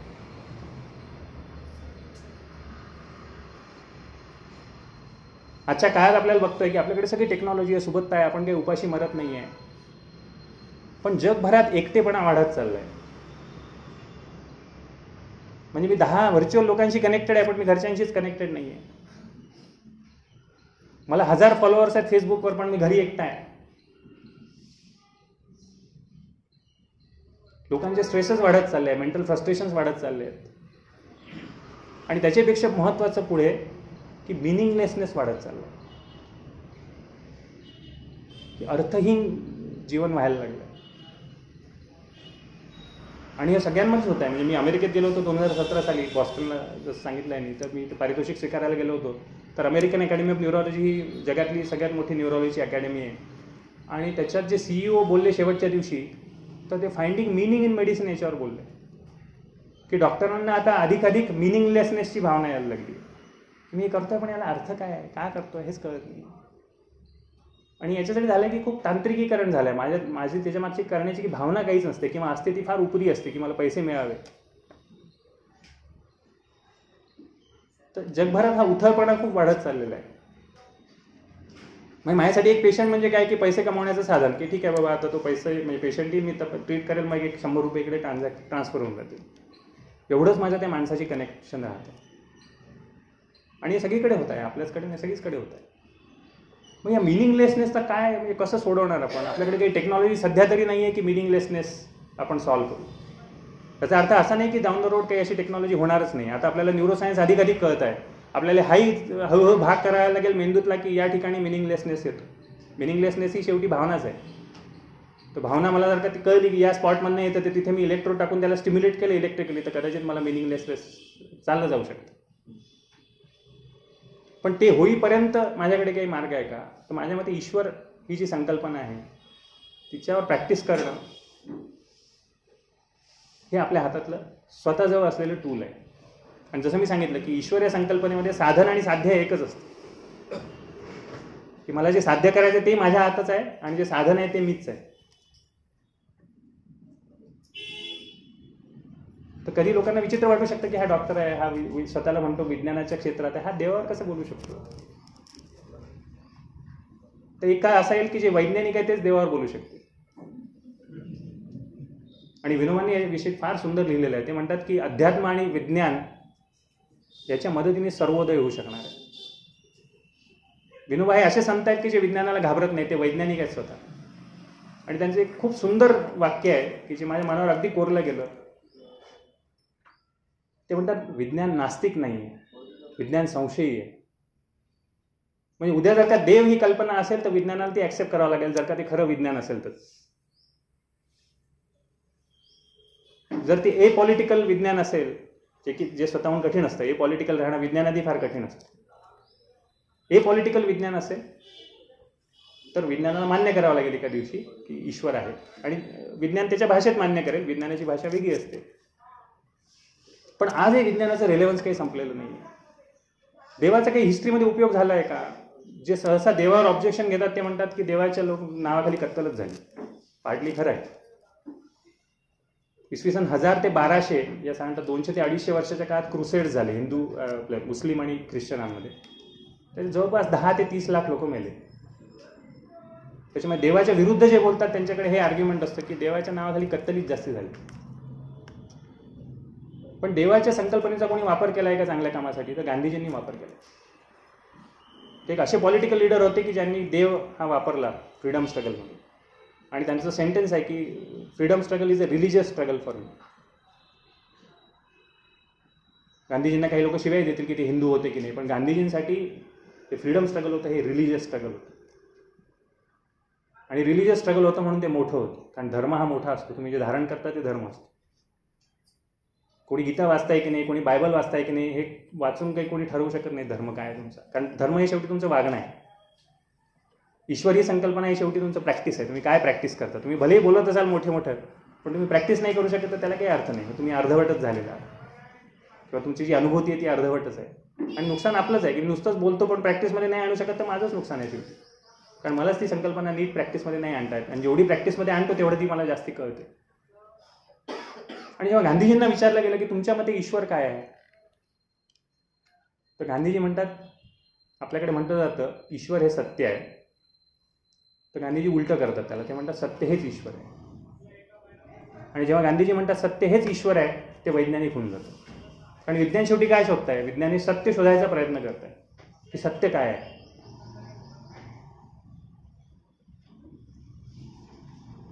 त्यांना देव वगैरे मानायची काही गरज नाही. सत्य हेच ईश्वर आहे. जे सत्य आहे जगात जे आहे तेच ईश्वर आहे.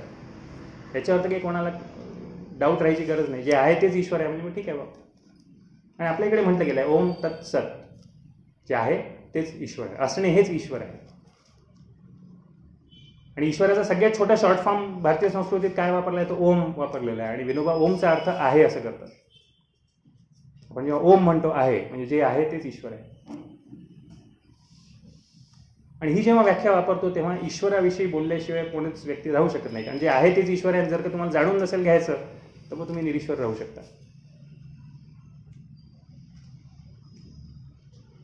तर मी सांगायचा हाच प्रयत्न केला की ईश्वरी संकल्पना विज्ञानाच्या काळात देखील एक तर विज्ञान त्याला प्रूव्ह करू शकतं क्वांटम फील्ड्स आणि पुढे जाऊन अजून काय विज्ञान आपल्याला दाखवतं क्वांटम फिजिक्स हे बघा मोठं मजेदार राहणार आहे. त्याला जे मी सापडत आहे क्वांटम फिजिक्समध्ये ते ईश्वर या संकल्पनेच्या जवळच आहे. मी आता हे म्हणू नाही शकत की क्वांटम फील्ड म्हणजेच ईश्वर आहे कारण ते प्रिमॅच्युअर राहील. दुसरं मी हे सांगितलं की ईश्वरी संकल्पना आजही आपल्या कामाची आहे कारण ती वैयक्तिक विकासासाठी कामाची आहे. जो स्वतःचा शोध घेतोय त्याला ईश्वर या संकल्पनेचा शोध घेणं आवश्यक आहे. जो स्वतःला समजून घेऊ इच्छितो मरण्याच्या आधी नाही तर भीती तीच असते की स्वतःला न समजून घेताच माणूस मरून जातो. तर ज्याला स्वतःला समजून घ्यायचं आहे त्याला ईश्वर ही कल्पना समजून घेणं आवश्यक असतं. आणि माझा जो शोध होता त्याच्यामागे जाण्याचा तो हाच शोध होता. तर मी हे म्हणू शकतो की थेरटिकली मला कळलं की ईश्वर काय संकल्पना असू शकते. आता प्रॅक्टिस सुरू होणं आवश्यक आणि प्रॅक्टिस सुरू होण्यासाठी एक मनाची भूमिका खूपच आवश्यक असते. त्याला ईशावास्य उपनिषदातला ऋषी म्हणतो ईशावास्यम इदम सर्वम सुखामेयाची बायको सो सोयरावी त्याला घेते. ती शब्दांचा एक कुंचला उचलते आणि तसा कुंचला फिरवते. आणि म्हणते अवघा रंग एक झाला. धन्यवाद.